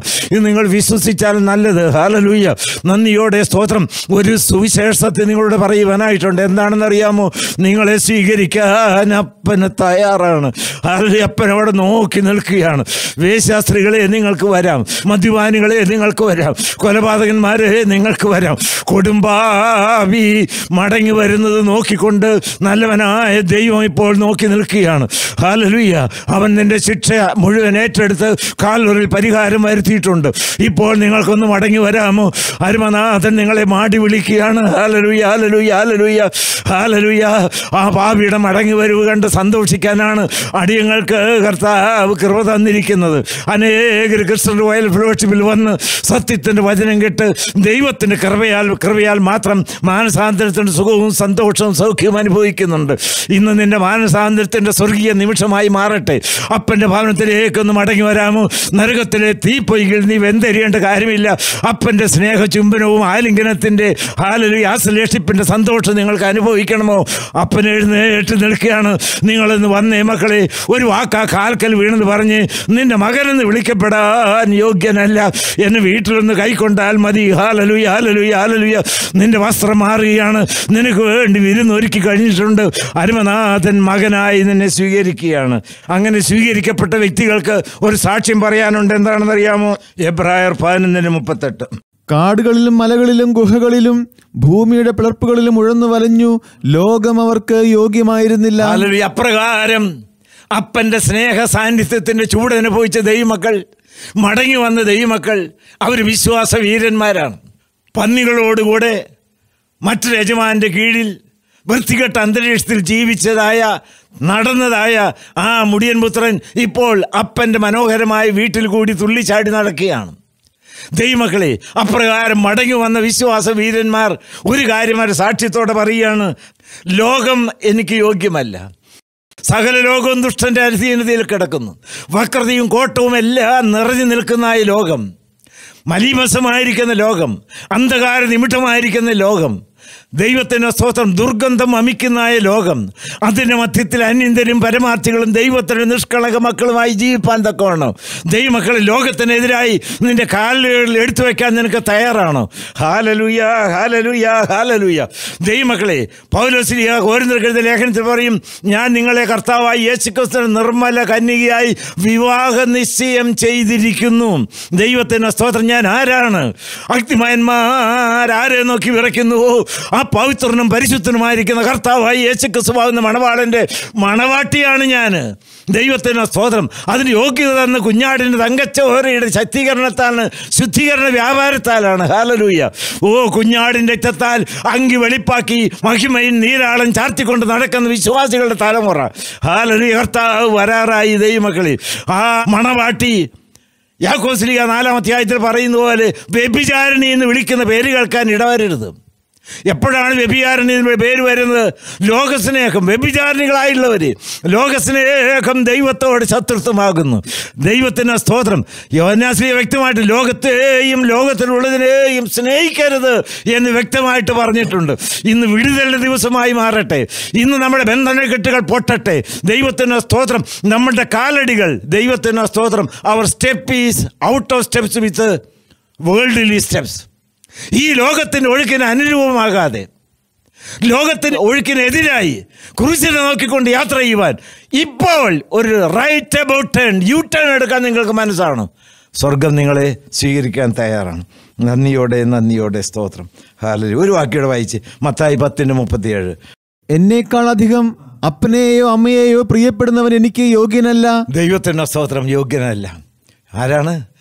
എന്നേക്കാൾ അധികം അപ്പനെയോ അമ്മയെയോ പ്രിയപ്പെടുന്നവൻ എനിക്ക് യോഗ്യനല്ല അടുത്ത വാക്യം. എന്നെക്കാളധികം മകനെയോ മകളെയോ പ്രിയപ്പെടുന്നവൻ എനിക്ക് യോഗ്യനല്ല. ഈ ലോകത്തിലെ ഏറ്റവും പ്രിയപ്പെട്ട അപ്പനേക്കാളും അമ്മയെക്കാളും മകനേക്കാളും മകളെക്കാളും അധികമായി ജീവരക്തം ഊറ്റിത്തന്ന് സ്നേഹിച്ച കർത്താവായി യേശു ക്രിസ്തുവിനെ പരിപൂർണമായി സ്നേഹിപ്പാൻ നിങ്ങൾക്ക് മനസ്സുണ്ടോ? സുപ്രീം പ്രയോറിറ്റി കർത്താവിന് കൊടുക്കാമോ? ഒരു വാക്ക് നമുക്ക് തീരുമാനത്തോടെ പറഞ്ഞ് അവസാനിപ്പിക്കാം. പത്രോസിയായിട്ട് കർത്താവായ യേശു ക്രിസ്തു തിബിരിയസ് കടലിന്റെ കരയിൽ വെച്ച് ചോദിച്ചു യോഹനാന്റെ മകനായ സീമോനെ നീ ഇവരിലധികമായി എന്നെ സ്നേഹിക്കുന്നു. ഇവയിലധികമായി എന്നെ സ്നേഹിക്കുന്നു. പത്രോസിക വളരെ വ്യക്തമായിട്ട് പറഞ്ഞു എനിക്ക് നിന്നോട് പ്രിയമുണ്ട് കർത്താവേ. ഹാലലൂയ ഹാലലൂയ യേശുവിന്റെ കാൽക്കൽ മക്കളെ ഒന്ന് വീണ്. ഞാനിവിടെ നിൽക്കുകയാണെങ്കിൽ ഞാൻ യേശുവിന്റെ കാൽക്കൽ വീഴുകയാണ്. ഞാൻ എന്റെ കർത്താവിനോട് പരിപൂർണമായ സ്നേഹം പൂർണ ഹൃദയത്തോടും പൂർണ മനസ്സോടും പൂർണ ശക്തിയോടും പൂർണ ആത്മാവോടും ബാക്കി സകല പാപത്തെയും ലോകത്തിലുള്ളതിനെയും വെറുത്ത് നിന്നെ സ്നേഹിക്കുമെന്ന് ഞാൻ ഉടമ്പടി തരികയാണ്. അപ്പോൾ അരുമനാഥന്റെ ആണിപ്പഴുതിന്റെ കാര്യം നമ്മുടെ തലമേൽ വരും. നമുക്ക് സ്നേഹം പകർന്നു തരും. അപ്പോൾ നമുക്ക് സ്നേഹത്തിന്റെ രാജ്യത്തിൽ എത്തുവാൻ ദൈവം കൃപ തരും. അതിന് സ്വർഗത്തിലെ ദൈവം കൃപ നമ്മെ സഹായിക്കട്ടെ. ദൈവനാമം മാത്രം മാത്രം മഹത്വപ്പെടുമാറാകട്ടെ. കർത്താവിന് സ്തോത്രം. ഹാലലൂയ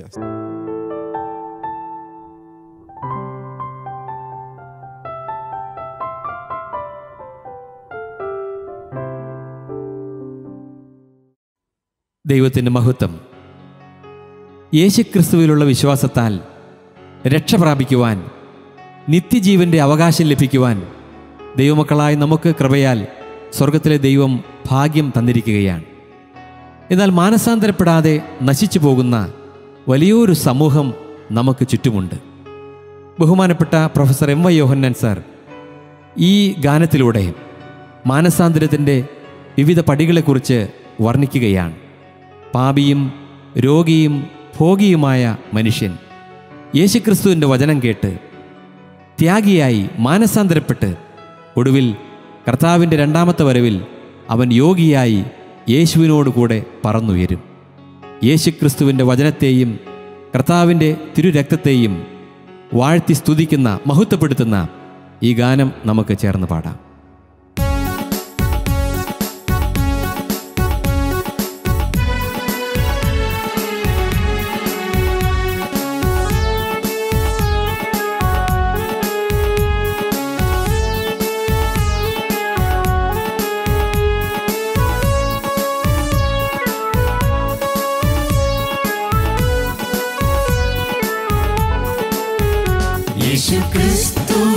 വചനം മൂലം നീ ഇന്നെത്രയോ ധന്യനായി തീർന്നു യേശു ക്രിസ്തുവിൻ വചനം മൂലം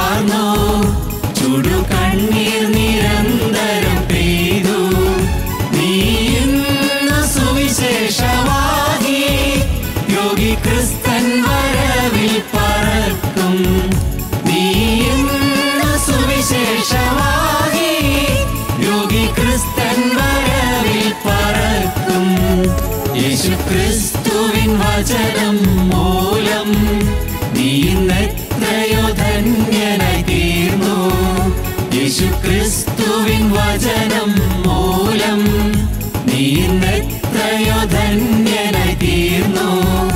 എന്റെ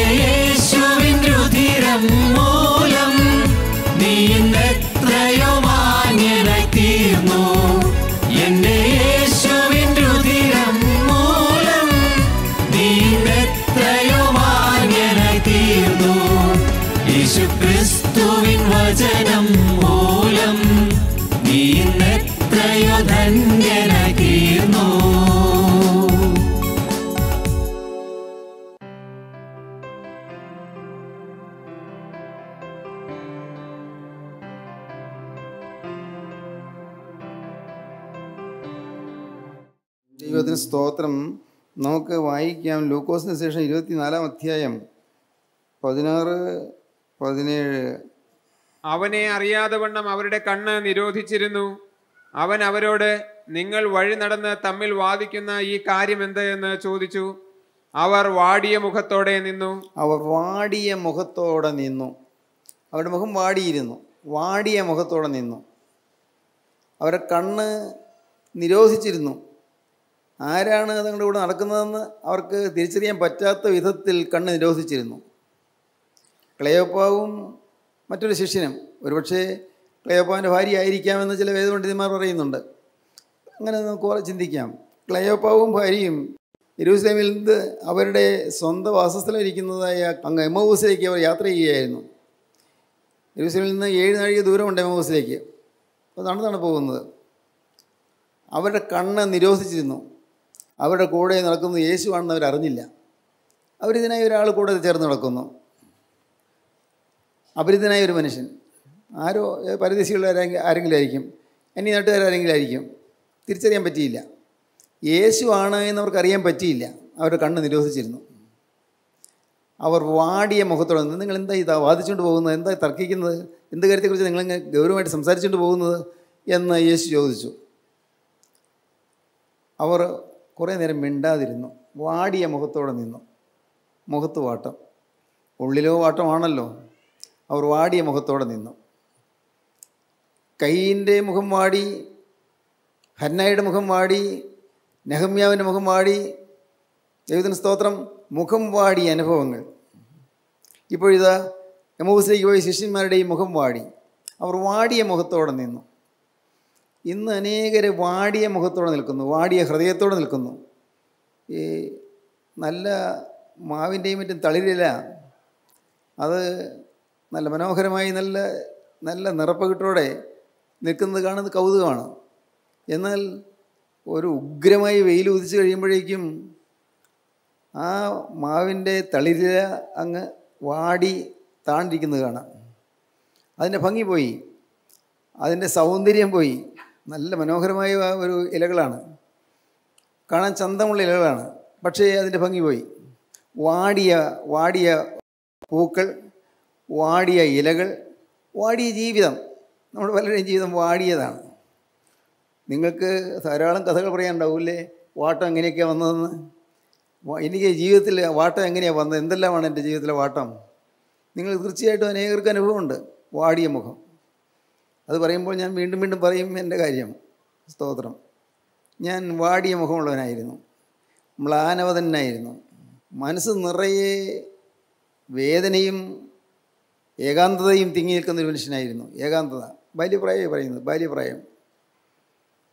ഒരു ബാലിന് അഞ്ചോ ആറോ ഏഴോ വയസ്സ് പ്രായമുള്ളൊരു കുട്ടിക്ക് എന്ത് വാട്ടം വരാനാണെന്ന് തോന്നും. പക്ഷേ എന്റെ ഹൃദയം വാടിയിരുന്നു.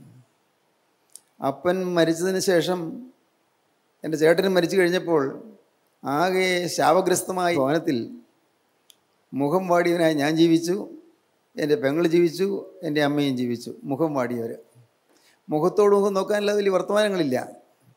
ചിരിയില്ല. സന്തോഷമില്ല. പിന്നെ ഇരുണ്ടും വെളുത്തും അങ്ങനെ പോകുന്നു. ഇരുണ്ടും വെളുത്തും. ഒരു സമാധാനം ഉണ്ടായിരുന്നില്ല. കാരണം വീടിന്റെ ആണും തൂണുമായി അവൻ കടന്നുപോയി. അന്ന് എനിക്കൊരു വയസ്സേ പ്രായമുള്ളൂ. ഒന്നും ഓർമ്മയില്ല. വാടിയ മുഖമായിരുന്നു. ഒരു പ്രത്യേക കാര്യം പറഞ്ഞ് അപ്പം മരിച്ചുപോയി. ശരി എന്നാലും ജീവിച്ചു പോകുന്നുണ്ടല്ലോ. പ്രത്യേക കാര്യം പറഞ്ഞാൽ അങ്ങനെ വാട്ടം വരേണ്ട ആവശ്യമില്ലെന്ന് ഇപ്പോൾ എനിക്ക് തോന്നുന്നു. എല്ലാം സന്തോഷത്തോടെ പുഞ്ചിരിയോടെ ഏറ്റുവാങ്ങിക്കൊണ്ട് ഈ ജീവിതം മുന്നോട്ട് നയിക്കേണ്ടതാണല്ലോ. പക്ഷേ അതന്ന് അങ്ങനെ ചിന്തിക്കാൻ തോന്നിയില്ല. നമ്മളെല്ലാവരെയും കാണുന്നൊരു ദൈവം എല്ലാവരെയും കാണും ദൈവം എല്ലാവരെയും സ്നേഹിക്കും ദൈവം. ആരോടും പരിഭവമില്ലാതെ ആരോടും പരാതിയില്ലാതെ എല്ലാവരെയും കരുണയോടെ കാണുന്നൊരു ദൈവമില്ലേ? അന്ന് എനിക്ക് അങ്ങ് ചിന്തയുണ്ടായിരുന്നില്ല. പ്രാർത്ഥിക്കും ചടങ്ങ് പോയി നമസ്കാരമുണ്ട്. ഞാൻ ഓർക്കുന്നു അന്ന് എന്ത് ചിട്ടിയായിരുന്നു പള്ളിയിൽ പോകുന്നത്? എല്ലാ ഞായറാഴ്ചയും പള്ളിയിൽ പോകുന്നു എന്നും രാവിലെയും വൈകുന്നേരം നമസ്കാരം ചൊല്ലുന്നു കുമ്പിട്ട് നമസ്കരിക്കുന്നു കൗമാകളെല്ലാം എത്തിക്കുന്നു എല്ലാം എല്ലാം. എന്ത് ചിട്ടപ്പെട്ട ജീവിതമായിരുന്നു. എന്നാൽ പ്രിയപ്പെട്ടവരെ ഞാൻ ഏകാഗിയായിരുന്നു. ഞാൻ ഒറ്റയ്ക്കായിരുന്നു. ആളും പേരില്ലെന്നുള്ളത് മാത്രമല്ല എന്റെ ഹൃദയത്തിൽ ഏകാന്തത ഞാൻ അനുഭവിച്ചിരുന്നു. ഹൃദയത്തിൽ ഏകാന്തത. വളരെ വളരെ വലിയ പ്രയാസമാണ് ഈ ഏകാന്തത എന്ന് പറയുന്നത്. ആരുമില്ലല്ലോ എന്നുള്ള ചിന്ത. ആരും കൂടെ ഇല്ലല്ലോ എന്നുള്ള ചിന്ത. എന്റെ വേദന കാണാൻ ആരുമില്ലല്ലോ എന്നുള്ള ചിന്ത. ആരും എന്നോട് സഹതപിക്കാനില്ലല്ലോ എന്നുള്ള ചിന്ത. എന്റെ ജീവിതത്തിന്റെ ഭാവി ഇരുളടഞ്ഞു പോയല്ലോ എന്നുള്ള ചിന്ത. ഇങ്ങനെയുള്ള നിരാശയുടെ യാതനയിൽപ്പെട്ട് ഉഴലുന്ന അനേകമനേകം ഹൃദയങ്ങളുണ്ടെന്നും നിങ്ങളിന്ന് കേൾക്കുന്നവരിലും ഉണ്ട് ഇൻഫീരിയറിറ്റി കോംപ്ലക്സ് അപകർഷതാബോധം. ഈ അപകർഷതാബോധത്തിന് അടിമപ്പെട്ട് ഇന്ന് ഈ വാക്കുകൾ കേൾക്കുന്ന അനേകരുണ്ട് പ്രിയപ്പെട്ടവരെ.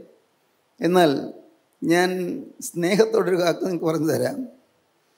അപകർഷതകൾ മാറ്റുന്ന ഉത്കർഷം തരുന്ന കർത്താവായ യേശുക്രിസ്തു ജീവിക്കുന്നു. എല്ലാ അപകർഷതയും മാറ്റും. എല്ലാം. ക്രിസ്തു വചനമായി നമ്മുടെ ഹൃദയത്തേക്ക് കടന്നു വരുമ്പോൾ നമ്മുടെ ജീവിതത്തിന്റെ നൈരാശ്യങ്ങൾ മാറും. ഹൃദയത്തിന്റെ ഊഷരതകൾ ഊഷരത എന്ന് പറഞ്ഞാൽ ഹൃദയത്തെ വരൾച്ചകൾ ഹൃദയത്തിന്റെ വരൾച്ചകൾ മാറും. ഹൃദയത്തിന്റെ തിങ്ങുന്ന വേദനകൾ മാറും. യേശു അകത്ത് വരുമ്പോൾ അവിടെ പുഞ്ചിരിയാണ് അകത്ത് പ്രസാദമാണ് അകത്ത് പ്രസന്നതയാണ് ജീവിതം സന്തോഷഭരിതമായി തീരുകയാണ്. യേശു അകത്ത് വരിക. നിങ്ങൾ ഒരു ചിന്തിച്ചുള്ളൂ ഇന്ന് നിങ്ങൾ ഈ വാക്കുകളെ കേൾക്കുമ്പോൾ നിങ്ങൾ കർത്താവോട് പറയണം കർത്താവേ നീ ഇതെല്ലാം കേട്ടുകൊണ്ടിരിക്കുന്നില്ലേ? നീയല്ലേ ഇത് എനിക്ക് തരുന്ന ഉപദേശം? കർത്താവ് എങ്ങനെയാണെങ്കിൽ എന്റെ കർത്താവേ എനിക്ക് ഇന്നു മുതൽ മുഖം വാട്ടം മാറിയവനായി എനിക്ക് എഴുന്നേറ്റ് പോകണം. എന്റെ ഹൃദയത്തിന്റെ മ്ലാനത മാറിയവനായി എനിക്ക് എഴുന്നേറ്റ് പോകണം. എന്റെ മ്ലാനത മുഴുവൻ മാറ്റുവാൻ നിനക്ക് കഴിയുമെന്ന് ഞാൻ വിശ്വസിക്കുന്നു. നിന്റെ തിരുവചനം എന്റെ ഹൃദയത്തിലേക്ക് പകർന്നുകൊണ്ടിരിക്കുമ്പോൾ എന്റെ മ്ലാനത പയ്യെ പയ്യെ മാറി മാറി വരുമെന്ന് ഞാൻ അറിയുന്നു. കർത്താവേ മുഖം വാടി മുഖം വാടിയിരിക്കുന്നു. സ്തോത്രം. അനേകം സ്ത്രീകൾ മുഖം വാടിയാണ് ഇരിക്കുന്നത്. കാരണം മദ്യപിച്ച് കൂത്താടി വരുന്ന ഭർത്താവിന്റെ മർദ്ദനേൽക്കാനാണ് ഒരു വിധി. എന്തു ചെയ്യും? എന്തു ചെയ്യും? അപ്പനില്ല അമ്മയില്ല ആങ്ങളമാരും തിരിഞ്ഞു നോക്കുന്നില്ല. എന്തു ചെയ്യും? ഈ ഭർത്താവിന്റെ അടിയും കൊണ്ടുകൊണ്ട് എന്നും ജീവിക്കുക. പാവം പിഞ്ചു കുഞ്ഞുങ്ങളെപ്പോലും ഉപദ്രവിക്കുന്ന അപ്പന്മാർ മദ്യപിച്ച് കഴിയുമ്പോൾ സുബോധം പോയി. ഒരു കുഞ്ഞിന്റെ കൈ ചവിട്ടി ഒടിക്കുന്ന അപ്പന്മാർ ഓമന കുഞ്ഞിന്റെ പിഞ്ചോമന കുഞ്ഞിന്റെ കൈ ചവിട്ടി ഒടിക്കുന്നു. പ്രിയപ്പെട്ടവരെ കുഞ്ഞ് കരയുന്നത് കേട്ട് ഒരു ഭർത്താവ് അപ്പൻ അപ്പൻ കുഞ്ഞ് കരയുന്നത് കേട്ട് ദേഷ്യപ്പെട്ടു വന്ന് ഇതിനെ ഇപ്പം ഞാൻ ഈ ഫ്രി- ഫ്രിഡ്ജിലേക്ക് കയറ്റി വയ്ക്കും എന്ന് പറഞ്ഞ അപ്പന്മാരുള്ള ലോകം. കരയാതിരിക്കാൻ ഫ്രിഡ്ജിലേക്ക് കയറ്റി വയ്ക്കുന്നു. വെച്ചാൽ കുഞ്ഞ് ചത്തുപോകില്ലേ അവിടെ മരവിച്ചിരുന്ന് പോകില്ലേ ഇങ്ങനെയുള്ള നിഷ്കണ്ടകന്മാരായ അനേകമനേകം ആളുകളുണ്ട്. ഭർത്താവ് എന്ന് പറയുന്ന മനുഷ്യൻ സാധു സ്ത്രീയെക്കുറിച്ചൊരു അനുകമ്പയുമില്ലാത്തതിനായി പോകുന്നു. എല്ലാ ഭർത്താക്കന്മാരും അല്ല. അല്ലേ? നിങ്ങൾ ചിന്തിക്കുന്നുണ്ട്? ഇതൊക്കെ നിങ്ങൾ അറിയുന്നുണ്ടോ? നിങ്ങൾ പലരും സന്തോഷമായി ജീവിക്കുന്നവരായിരിക്കും. പക്ഷേ അനേകം അനേകം സ്ത്രീകൾ വാസ്തവത്തിൽ ദുരിതത്തിന്റെ തീരാക്കയത്തിൽപ്പെട്ട് അഴലുന്നവരാണ് ഉഴലുന്നവരാണ്. ദൈവത്തിന് സ്തോത്രം. സഹോദരങ്ങളെ അവർ വാടിയ മുഖത്തോടെ നിന്നു. ക്ലയപ്പാവും ഭാര്യയും. അവർ നടന്നു പോകുമ്പോൾ ഗൗരവമായി സംസാരിച്ചുകൂടാണ് പോകുന്നത്. കൂട്ടിയും കഴിച്ചും സംസാരിക്കുകയാണ്.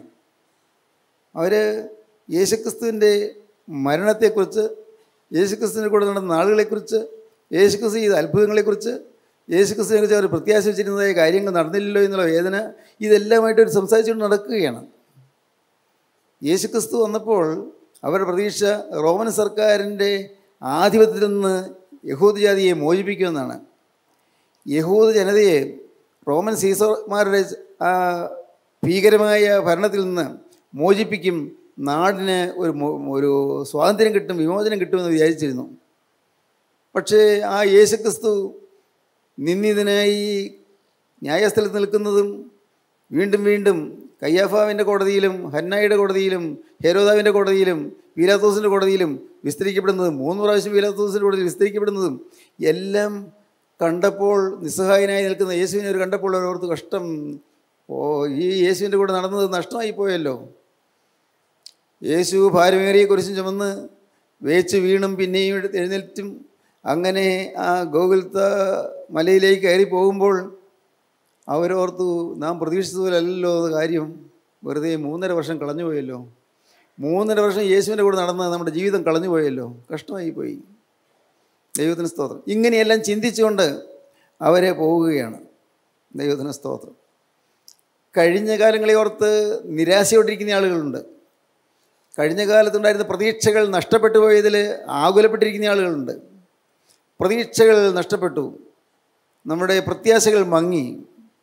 നമ്മുടെ ആഗ്രഹങ്ങളെല്ലാം എല്ലാം കരിഞ്ഞുണങ്ങി. സ്വപ്നങ്ങൾ കരിഞ്ഞുണങ്ങി. അങ്ങനെ കഴിയുന്ന അനേകം ആളുകളുണ്ട്. വലിയ വലിയ പ്രതീക്ഷയോടെ ഒരു ബിസിനസ് തുടങ്ങി ആ ബിസിനസ് തകരുന്നു. വലിയ പ്രതീക്ഷയോടെ വിവാഹം കഴിച്ചു ആ വിവാഹം എന്ന് ഒലയുന്നു വലിയ പ്രതീക്ഷയോടെ ഒരു കുഞ്ഞിന് വേണ്ടി കാത്തിരുന്നു പക്ഷേ ആ കുഞ്ഞിനെ കിട്ടിയില്ല ആ കുഞ്ഞ് ഗർഭത്തിൽ തന്നെ ആ കുഞ്ഞ് നഷ്ടപ്പെട്ടു പോയിരിക്കുന്നു. പ്രതീക്ഷകൾ അസ്തമിച്ച ആളുകൾ പ്രത്യാശ നശിച്ചയായ ആളുകൾ ആഗ്രഹിച്ച കിട്ടാതെ വിഷമിച്ച് മനസ്സ് കേണുകൊണ്ടിരിക്കുന്നതായ ആളുകൾ. സ്തോത്രം.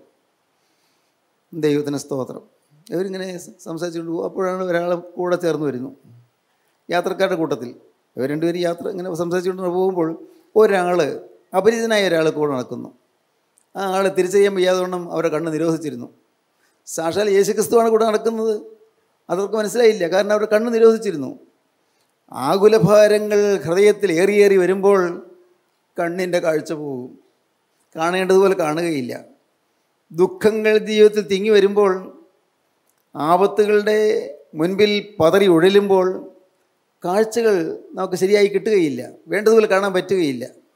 ആദിയും വ്യാധിയുമായി വലയുമ്പോൾ നമുക്ക് തീർച്ചയായിട്ടും നമ്മുടെ കാഴ്ചശക്തി മങ്ങിപ്പോയതുപോലെ തോന്നും. ദൈവത്തിന് സ്തോത്രം. അവരുടെ കണ്ണ് നിരോധിച്ചിരുന്നു. അപ്പോൾ നാം വായിക്കുന്നതാണ്. അദ്ദേഹം ചോദിച്ചു ഈ പന്നിയാൾ ചോദിച്ചു യേശുക്രിസ്തു ചോദിച്ചു. അവൻ അവരോട് നിങ്ങൾ വഴി നടന്ന് തമ്മിൽ വാദിക്കുന്ന ഈ കാര്യം എന്ത്? എന്ന് ചോദിച്ചു. അവർ വാടിയ മുഖത്തോടെ നിന്നു. അവർ ഈ ചോദ്യം കേട്ടപ്പോൾ അവിടെ അങ്ങ് നിന്നു. ഒരാൾ അപരിചിതനായ ഒരു മനുഷ്യൻ യാത്രക്കാരൻ കൂടെ വന്നിരിക്കുന്നു. നിങ്ങൾ എന്താ ഈ വഴി നടന്ന് തർക്കിക്കുന്നത്? നിങ്ങൾ എന്താണ് വലിയ വാഗ്വാദത്തോടെ പോകുന്നത്? എന്താ എന്താ വിഷയം എന്താ? എന്ന് ചോദിച്ചു. കർത്താവിന് അറിയാമല്ലോ എന്താ തർക്കിക്കുന്നത്? കർത്താവിന് അറിയാമല്ലോ പക്ഷേ കർത്താവ് അവരുടെ ആ വിഷമതയിൽ കർത്താവ് കടന്നിയെല്ലാൻ ഒരു പഴുതു നോക്കുകയാണ്. അവരുടെ യാതനയിലെ കടന്നിയല്ലാൻ കർത്താവ് ഒരു പഴുതു നോക്കുകയാണ്. എന്ത് വിഷയമാണ് നിങ്ങൾ സംസാരിക്കുന്നത്? വലിയ വാഗ്വാദത്തോടെ ഇങ്ങനെ പറയുന്നത് എന്താ? എന്തോ ഒരു പുതിയ കാര്യം പറയുന്ന പോലെ. ഉടനെ അവർ പറഞ്ഞു അടുത്ത വാക്യം. ക്ലയോപ്പാവ് എന്ന പേരുള്ളവൻ യെരുസലേമിലെ പരദേശികളിൽ നീ മാത്രം ഈ നാളുകളിൽ അവിടെ സംഭവിച്ച കാര്യം അറിയാതിരിക്കുന്നുവോ എന്ന് ഉത്തരം പറഞ്ഞു. നീ പരദേശിയാണോ? ഈ നാളിൽ ഈ യെരുസലേമിൽ എന്താ സംഭവിച്ചു നീ അറിഞ്ഞില്ലേ? ഈ നാട് ഇളകിപ്പോയൊരു കാര്യം നിങ്ങൾ അറിഞ്ഞില്ലേ? നീ അറിഞ്ഞില്ലേ? ഈ നാടാകെ ഇളകി ജനങ്ങളെല്ലാം എല്ലാം എല്ലാവരും അങ്ങ് വല്ലാതെ വിഷാദത്തിലായവരുണ്ട് മനോഭാരത്തിലായവരുണ്ട് സന്തോഷിച്ചവരുണ്ട്. ഒരു വലിയൊരു സംഭവം ഇവിടെ നാട്ടിൽ നടന്നു നീ അറിഞ്ഞില്ലേ? ഈ നാട്ടിൽ സംഭവിച്ചത് നീ അറിയുന്നില്ലേ എന്ന് ചോദിച്ചു. പിന്നെ? ഏത് എന്ന് അവൻ അവരോട് ചോദിച്ചത് ഏത് കാര്യം എനിക്ക് മനസ്സിലായില്ല. നിങ്ങൾ ഏത് കാര്യമാണ് സംസാരിക്കുന്നത്? കർത്താവ് അവരുടെ ഉള്ളിൽ ഇങ്ങനെ വെച്ച് ചകഞ്ഞെടുക്കാൻ നോക്കുക. ഏത് കാര്യം? ഏതാ നിങ്ങൾ സംസാരിച്ചത്? പറയൂ. അവർ അവനോട് പറഞ്ഞത് ദൈവത്തിനും സകല ജനത്തിനും മുമ്പാകെ പ്രവൃത്തിയിലും വാക്കിലും ശക്തിയുള്ള പ്രവാചകനായിരുന്ന നസറായനായ യേശുവിനെ കുറിച്ചുള്ളത് തന്നെ നമ്മുടെ മഹാപുരോഹിതന്മാരും പ്രമാണികളും അവനെ മരണവിധിക്ക് ഏൽപ്പിച്ച് ക്രൂശിച്ചു. ദൈവത്തിന് സ്തോത്രം. അത് ആ യേശുവിന്റെ കാര്യമാണ് ഞങ്ങൾ പറയുന്നത്. യേശുവിന്റെ നീ കേട്ടിട്ടില്ലേ അങ്ങനെ യേശുവിനെ കുറിച്ച് ആ യേശുവിന്റെ കാര്യമാണ് ഞങ്ങൾ പറയുന്നത്. ഞങ്ങൾ സംസാരിച്ചുകൊണ്ടിരിക്കുന്ന യേശുവിന്റെ വിഷയമാണ് സ്തോത്രം. ഒരു മർമ്മം പറഞ്ഞു തരാം. യേശുവിന്റെ വിഷയം സംസാരിച്ചാൽ യേശുവോട് വരും. സ്തോത്രം. നിങ്ങൾ വീട്ടിൽ വാഗ്വാദത്തിനൊന്നും മുതിരാതെ ലോകകാര്യങ്ങൾ പറഞ്ഞ് രസിച്ചിരിക്കാതെ മറ്റുള്ളവരുടെ കുറ്റം പറഞ്ഞുകൊണ്ടിരിക്കാതെ നിങ്ങളുടെ വീട്ടിൽ നിങ്ങൾ ഭാര്യയും ഭർത്താവും മക്കളും ഒരുമിച്ച് ഇരുന്ന് മറ്റ് മറ്റാരുടെയെങ്കിലുമൊക്കെ കാര്യങ്ങളൊക്കെ വെറുതെ പറഞ്ഞ് സമയം കളയാതെ യേശുവിന്റെ കാര്യം പറയൂ. യേശു അവിടെ വരും. യേശുവിന്റെ കാര്യം ആര് പറയുന്നുവോ അവിടെ യേശു വരും. യേശുവിന്റെ കാര്യം പറയുമ്പോഴേക്കും യേശു അവിടെ എത്തിക്കഴിഞ്ഞു. ദൈവത്തിന് സ്തോത്രം. അതാണ് അനേകം കുടുംബങ്ങൾക്ക് ഐശ്വര്യം ഉണ്ടാകുന്നത്. നിങ്ങൾ യേശുവിന്റെ കാര്യം പറയൂ. തിരുവചനം പറയൂ. വചനത്തിൽ ഇങ്ങനെയുണ്ടല്ലോ എന്ന് പറയൂ. അല്ല നമുക്ക് വായിച്ച് നോക്കാം. ഇന്ന ഭാഗം എടുക്കൂ. വായിക്കുന്നു. വായിക്കുന്നു. വാ- വേദ- വേദവസ്തം വായിക്കുമ്പോൾ അപ്പോൾ അവിടെ യേശു വന്നു കഴിഞ്ഞു. സ്തോത്രം. അതുകൊണ്ടാണ് ഈ വചന സൂക്ഷിയിൽ യേശുവിന്റെ സാന്നിധ്യം ഉണ്ടെന്ന് നീ പറയുന്നത്. യേശുവിനെ കുറിച്ചാണ് നമ്മൾ പറയുന്നത്. നമ്മൾ വേറൊരു കാര്യം പറയുന്നില്ല. നമുക്ക് ലോക കാര്യങ്ങളൊന്നും പറയാനില്ല താനും. അതിന് പറയാനുള്ള അറിവുമില്ല നമുക്ക്. അല്ലേ? നമുക്ക് എന്ത് അറിവാണുള്ളത് ഈ സയൻസിന്റെ അത്ഭുത കാര്യങ്ങളൊക്കെ നമുക്ക് പറയാൻ വല്ല അറിവുണ്ടോ? അറിവില്ല. പക്ഷേ നമുക്ക് യേശുവിന്റെ കാര്യം പറയാം. എനിക്ക് യേശു ഒരു ആശ്വാസം തന്നു കേട്ടോ. പറയാം. എനിക്കൊരു സമാധാനം തന്നു കേട്ടോ. പറയാം. എന്റെ മനസ്സ് ഉഷ്ണിച്ചിരുന്നപ്പോൾ യേശു എന്റെ മനസ്സിലേക്ക് കുളിർമയുള്ള ജലം ഒഴിക്കുന്നത് പോലെ എനിക്കൊരു കുളിർമ കിട്ടി കേട്ടോ. പറയാം. ഞാൻ ആ വചനം കേട്ടുകൊണ്ടിരുന്നപ്പോൾ എന്റെ ഉള്ളിൽ കത്തിക്കൊണ്ടിരുന്നു കേട്ടോ. നമുക്ക് പറയാം. ഇങ്ങനെ നിങ്ങൾ യേശുവിന്റെ കാര്യം സംസാരിക്കുക യേശുവിന്റെ വചനത്തെക്കുറിച്ച് പറയുക യേശുവിന്റെ ശിഷ്യന്മാരെക്കുറിച്ച് പറയുക യേശുവിന്റെ വിശുദ്ധന്മാരെക്കുറിച്ച് പറയുക. സ്തോത്രം. അതെല്ലാം പറയാം. യേശുവിന്റെ ശിഷ്യന്മാരെക്കുറിച്ച് പറയാം. അവർ കുറ്റമല്ല. അവർ പറഞ്ഞ വാക്കുകളിലുണ്ടായ ആ നവചൈതന്യം. അവർ അവർ അവരുടെ ഒരു നോട്ടത്തിൽ കിട്ടിയതായ അത്ഭുതമായ ഒരു സ്നേഹത്തിന്റെ സ്പർശനം സ്തോത്രം. യേശുക്രിസ്തുവിന്റെ പരിശുദ്ധാത്മാവുള്ള ദൈവമക്കളുമായിട്ട് ഇടപെടുന്നത് ഒരു വലിയൊരു സൗന്ദര്യവും ആസ്വാദ്യനുമായ അനുഭവമാണ് എന്ന് നാം മറ്റുള്ളവർ പറയേണ്ടിയിരിക്കുന്നു പറയണം. അപ്പോഴാണ് നമുക്ക് ആശ്വാസം കിട്ടുന്നത്. ദൈവത്തിന് സ്തോത്രം. അപ്പോൾ നീ അറിഞ്ഞില്ലേ അങ്ങനെ ഒരു ഒരു ഒരു പ്രവാചകൻ യേശു എന്ന് പറഞ്ഞ ഒരു പ്രവാചകൻ ഉണ്ടായിരുന്നത് കേട്ടിട്ടില്ലേ? ചോദിക്കുകയാണ്. ഈ നാളിൽ നീ ദൈവത്തിനും സകലജനത്തിനും വാക്ക് പ്രവൃത്തിയിലും വാക്കിലും ശക്തിയുള്ള പ്രവാചകനായിരുന്നു നസ്രായനായ യേശു. അപ്പോൾ യേശുവിനെ കുറിച്ച് അവർ പറഞ്ഞത് സത്യമാണ് കേട്ടോ. അവർ നിരാശപ്പെട്ടിരിക്കുകയാണെങ്കിൽ പറയേണ്ടത് അവർ പറഞ്ഞു. എന്താണ്? ദൈവത്തിനും സകല ജനത്തിനും മുൻപാകെ പ്രവൃത്തിയിലും വാക്കിലും ശക്തിയുള്ള പ്രവാചകനായിരുന്ന നസ്രായനായ യേശു. ആ യേശുവിന്റെ കുറിച്ചാണ് പറയുന്നത്. വാക്കിലും പ്രവൃത്തിയിലും ശക്തിയുള്ള പ്രവാചകനായിരുന്നു. സർവജനത്തിന് മുൻപാകെ ദൈവത്തിന് മുൻപാകെയും. എന്തൊരു സാക്ഷ്യമാണ്. മൂന്നര കൊല്ലം യേശുവിന്റെ കൂടെ നടന്നപ്പോൾ അവർ കിട്ടിയ അനുഭവത്തിന്റെ വെളിച്ചത്തിലാണ് ഈ സാക്ഷ്യം പറയുന്നത്. അങ്ങനെയാണ് നിങ്ങൾ സാക്ഷ്യം പറയേണ്ടത്. നമുക്ക് കിട്ടിയ അനുഭവങ്ങളുടെ വെളിച്ചത്തിലാണ് സാക്ഷ്യം പറയേണ്ടത്. യേശു ക്രിസ്തു എനിക്ക് എന്ത് ചെയ്തു? യേശു ക്രിസ്തു എന്നോട് എങ്ങനെ ഇടപെട്ടു? യേശു ക്രിസ്തു എനിക്ക് എങ്ങനെയാണ് സമാധാനം തന്നത്?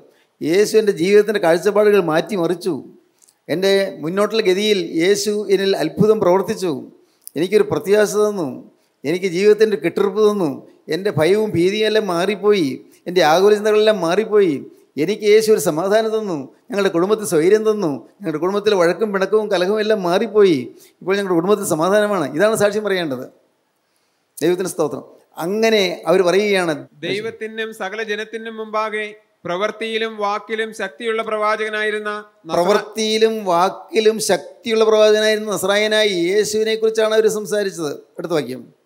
നമ്മുടെ മഹാപുരോഹിതന്മാരും പ്രമാണികളും അവനെ മരണവിധിക്ക് ഏൽപ്പിച്ച് ക്രൂശിച്ചു. സങ്കടത്തോടെ പറയുകയാണ് കാര്യം ശക്തികൾ പ്രവാചനായിരുന്നു പക്ഷെ എന്ത് ഫലം? നമ്മുടെ മഹാപുരോഹിതന്മാരും പ്രമാണികളൊക്കെ അവനെതിരായിപ്പോയി കാര്യം നല്ല കാര്യമായി യേശു പറഞ്ഞ് നടന്നപ്പോൾ കിട്ടിയ അനുഗ്രഹങ്ങൾ വളരെ വർണാതീതമായ കാര്യങ്ങളാണ്. പക്ഷെ എന്ത് ഈ ഫലം? ഈ ഞങ്ങളുടെ പള്ളി പ്രമാണിമാർ യേശുവിനെ നിന്ദിച്ചു യേശുവിനെ ശത്രുവായിട്ട് കണ്ടു. കാര്യം ഞങ്ങൾക്ക് സങ്കടമുണ്ട് എന്ത് ചെയ്യാം?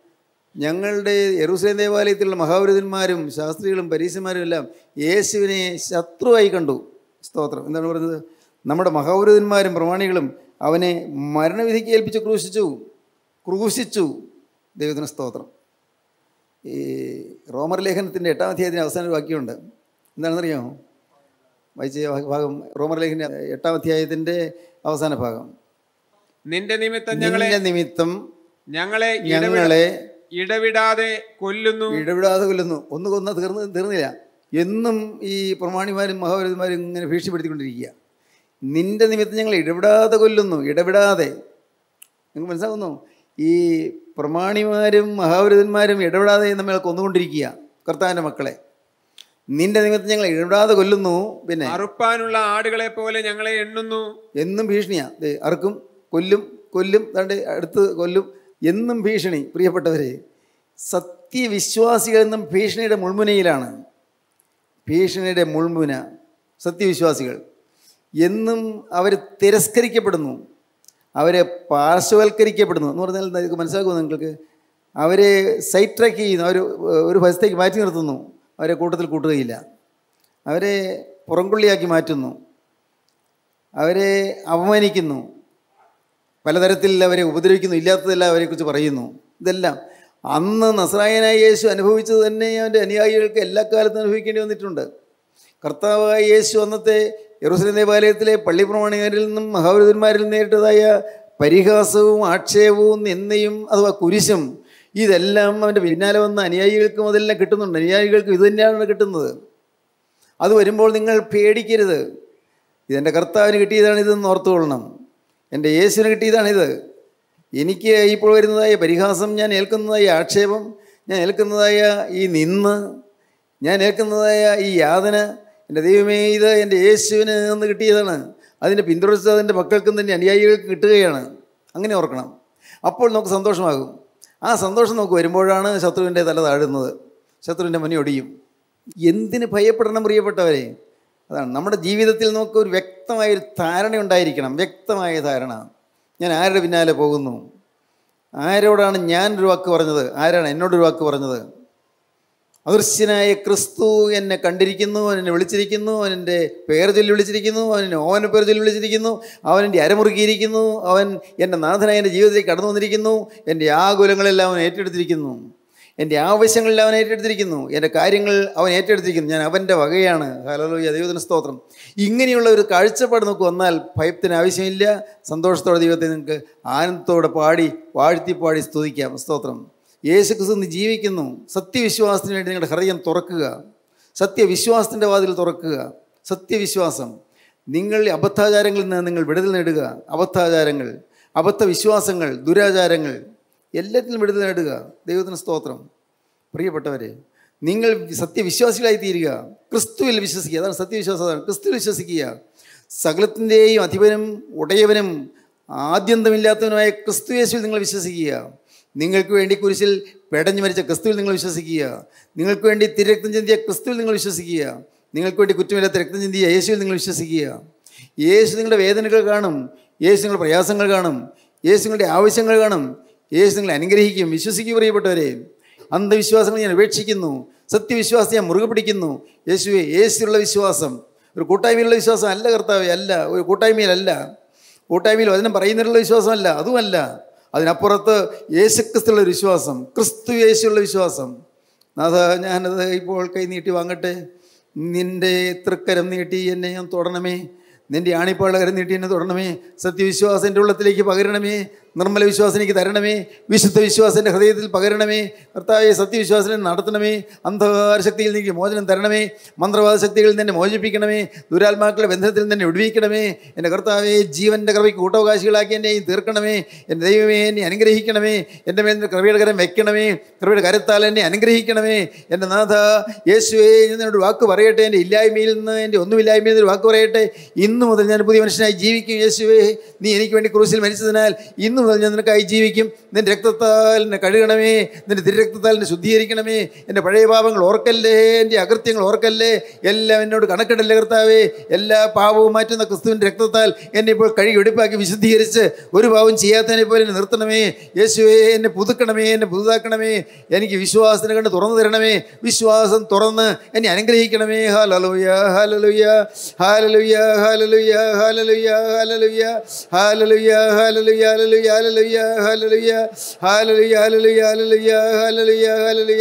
ഇങ്ങനെ നിങ്ങൾക്ക് ജീവിതത്തിൽ വ്യക്തമായി സത്യവിശ്വാസത്തിൽ പോകണമെന്ന് ആഗ്രഹമുള്ളവർക്ക് നിങ്ങളുടെ കരങ്ങളെ ഉയർത്താം ഹാലലുയ്യ ഹാലലുയ്യ ഹാലലുയ്യ ഹാലലുയ്യ ഹാലലുയ്യ ഹാലലുയ്യ ഹാലലുയ്യ ഹാലലുയ്യ ഹാലലുയ്യ ഹാലലുയ്യ ഹാലലുയ്യ ഹാലലുയ്യ ഹാലലുയ്യ ഹാലലുയ്യ രക്ഷക ജീവനുള്ള ദൈവമേ കരുണിയുള്ള കർത്താവേ ഈ നല്ല സമയത്തിനായി ഞങ്ങൾ അതിനെ സ്തുതിക്കുന്നു അതിനെ സ്തോത്രം ചെയ്യുന്നു. ഞങ്ങളുടെ ഹൃദയത്തിൽ സത്യവിശ്വാസം ഉറപ്പിച്ചു തരുന്ന കൃപയ്ക്കായി സ്തോത്രം. അന്ധവിശ്വാസങ്ങളിൽ നിങ്ങൾ വിടുവിക്കുന്നതിനായി സ്തോത്രം കർത്താവേ. അബദ്ധാചാരങ്ങളിൽ നിങ്ങൾ മോചിപ്പിക്കുന്നതിനായി സ്തോത്രം കർത്താവേ. അപ്പോൾ ഇന്ന് ഈ വചനം കേട്ട് എല്ലാവരെയും അനുഗ്രഹിക്കണമേ. എല്ലാവരുടെ മേലും തൃക്കരം വെക്കണമേ. അനുഗ്രഹിക്കണമേ കർത്താവേ. തിരക്താൽ മക്കളെ അവിടെ നിന്ന് അഭിഷേകം ചെയ്യണമേ കർത്താവേ. യേശു ക്രിസ്തുവിന്റെ പരിശുദ്ധാത്മാവിന്റെ നിറവിന്റെ അഭിഷേകത്താൽ ഈ മക്കളെ അവിടെ അനുഗ്രഹിക്കണമേ കർത്താവേ. എല്ലാവരെയും അനുഗ്രഹിക്കണമേ. എല്ലാ നന്മകളും നിറയ്ക്കണേ പുതിയ ജീവിതത്തിനുള്ളതായ കരുത്ത് നൽകണമേ. യേശു ക്രിസ്തുവിന്റെ മഹത്വമുള്ള നാമത്തിൽ പ്രാർത്ഥിക്കുന്ന. കുറവയോടെ കേൾക്കണമേ. ആ മീൻ ഹലലോയ ക്രിസ്ത്യൻ റിവൈവൽ ഫെലോഷിപ്പിന്റെ പ്രാർത്ഥനായോഗം എല്ലാ മാസവും ഒന്നും മൂന്നും ഞായറാഴ്ചകളിൽ ഉച്ചയ്ക്ക് ഒന്ന് മുപ്പത് മുതൽ മൂന്ന് മണിവരെ പവർവിഷൻ പവർ വിഷൻ ടി വിയിൽ ഉണ്ടായിരിക്കുന്നതാണ്.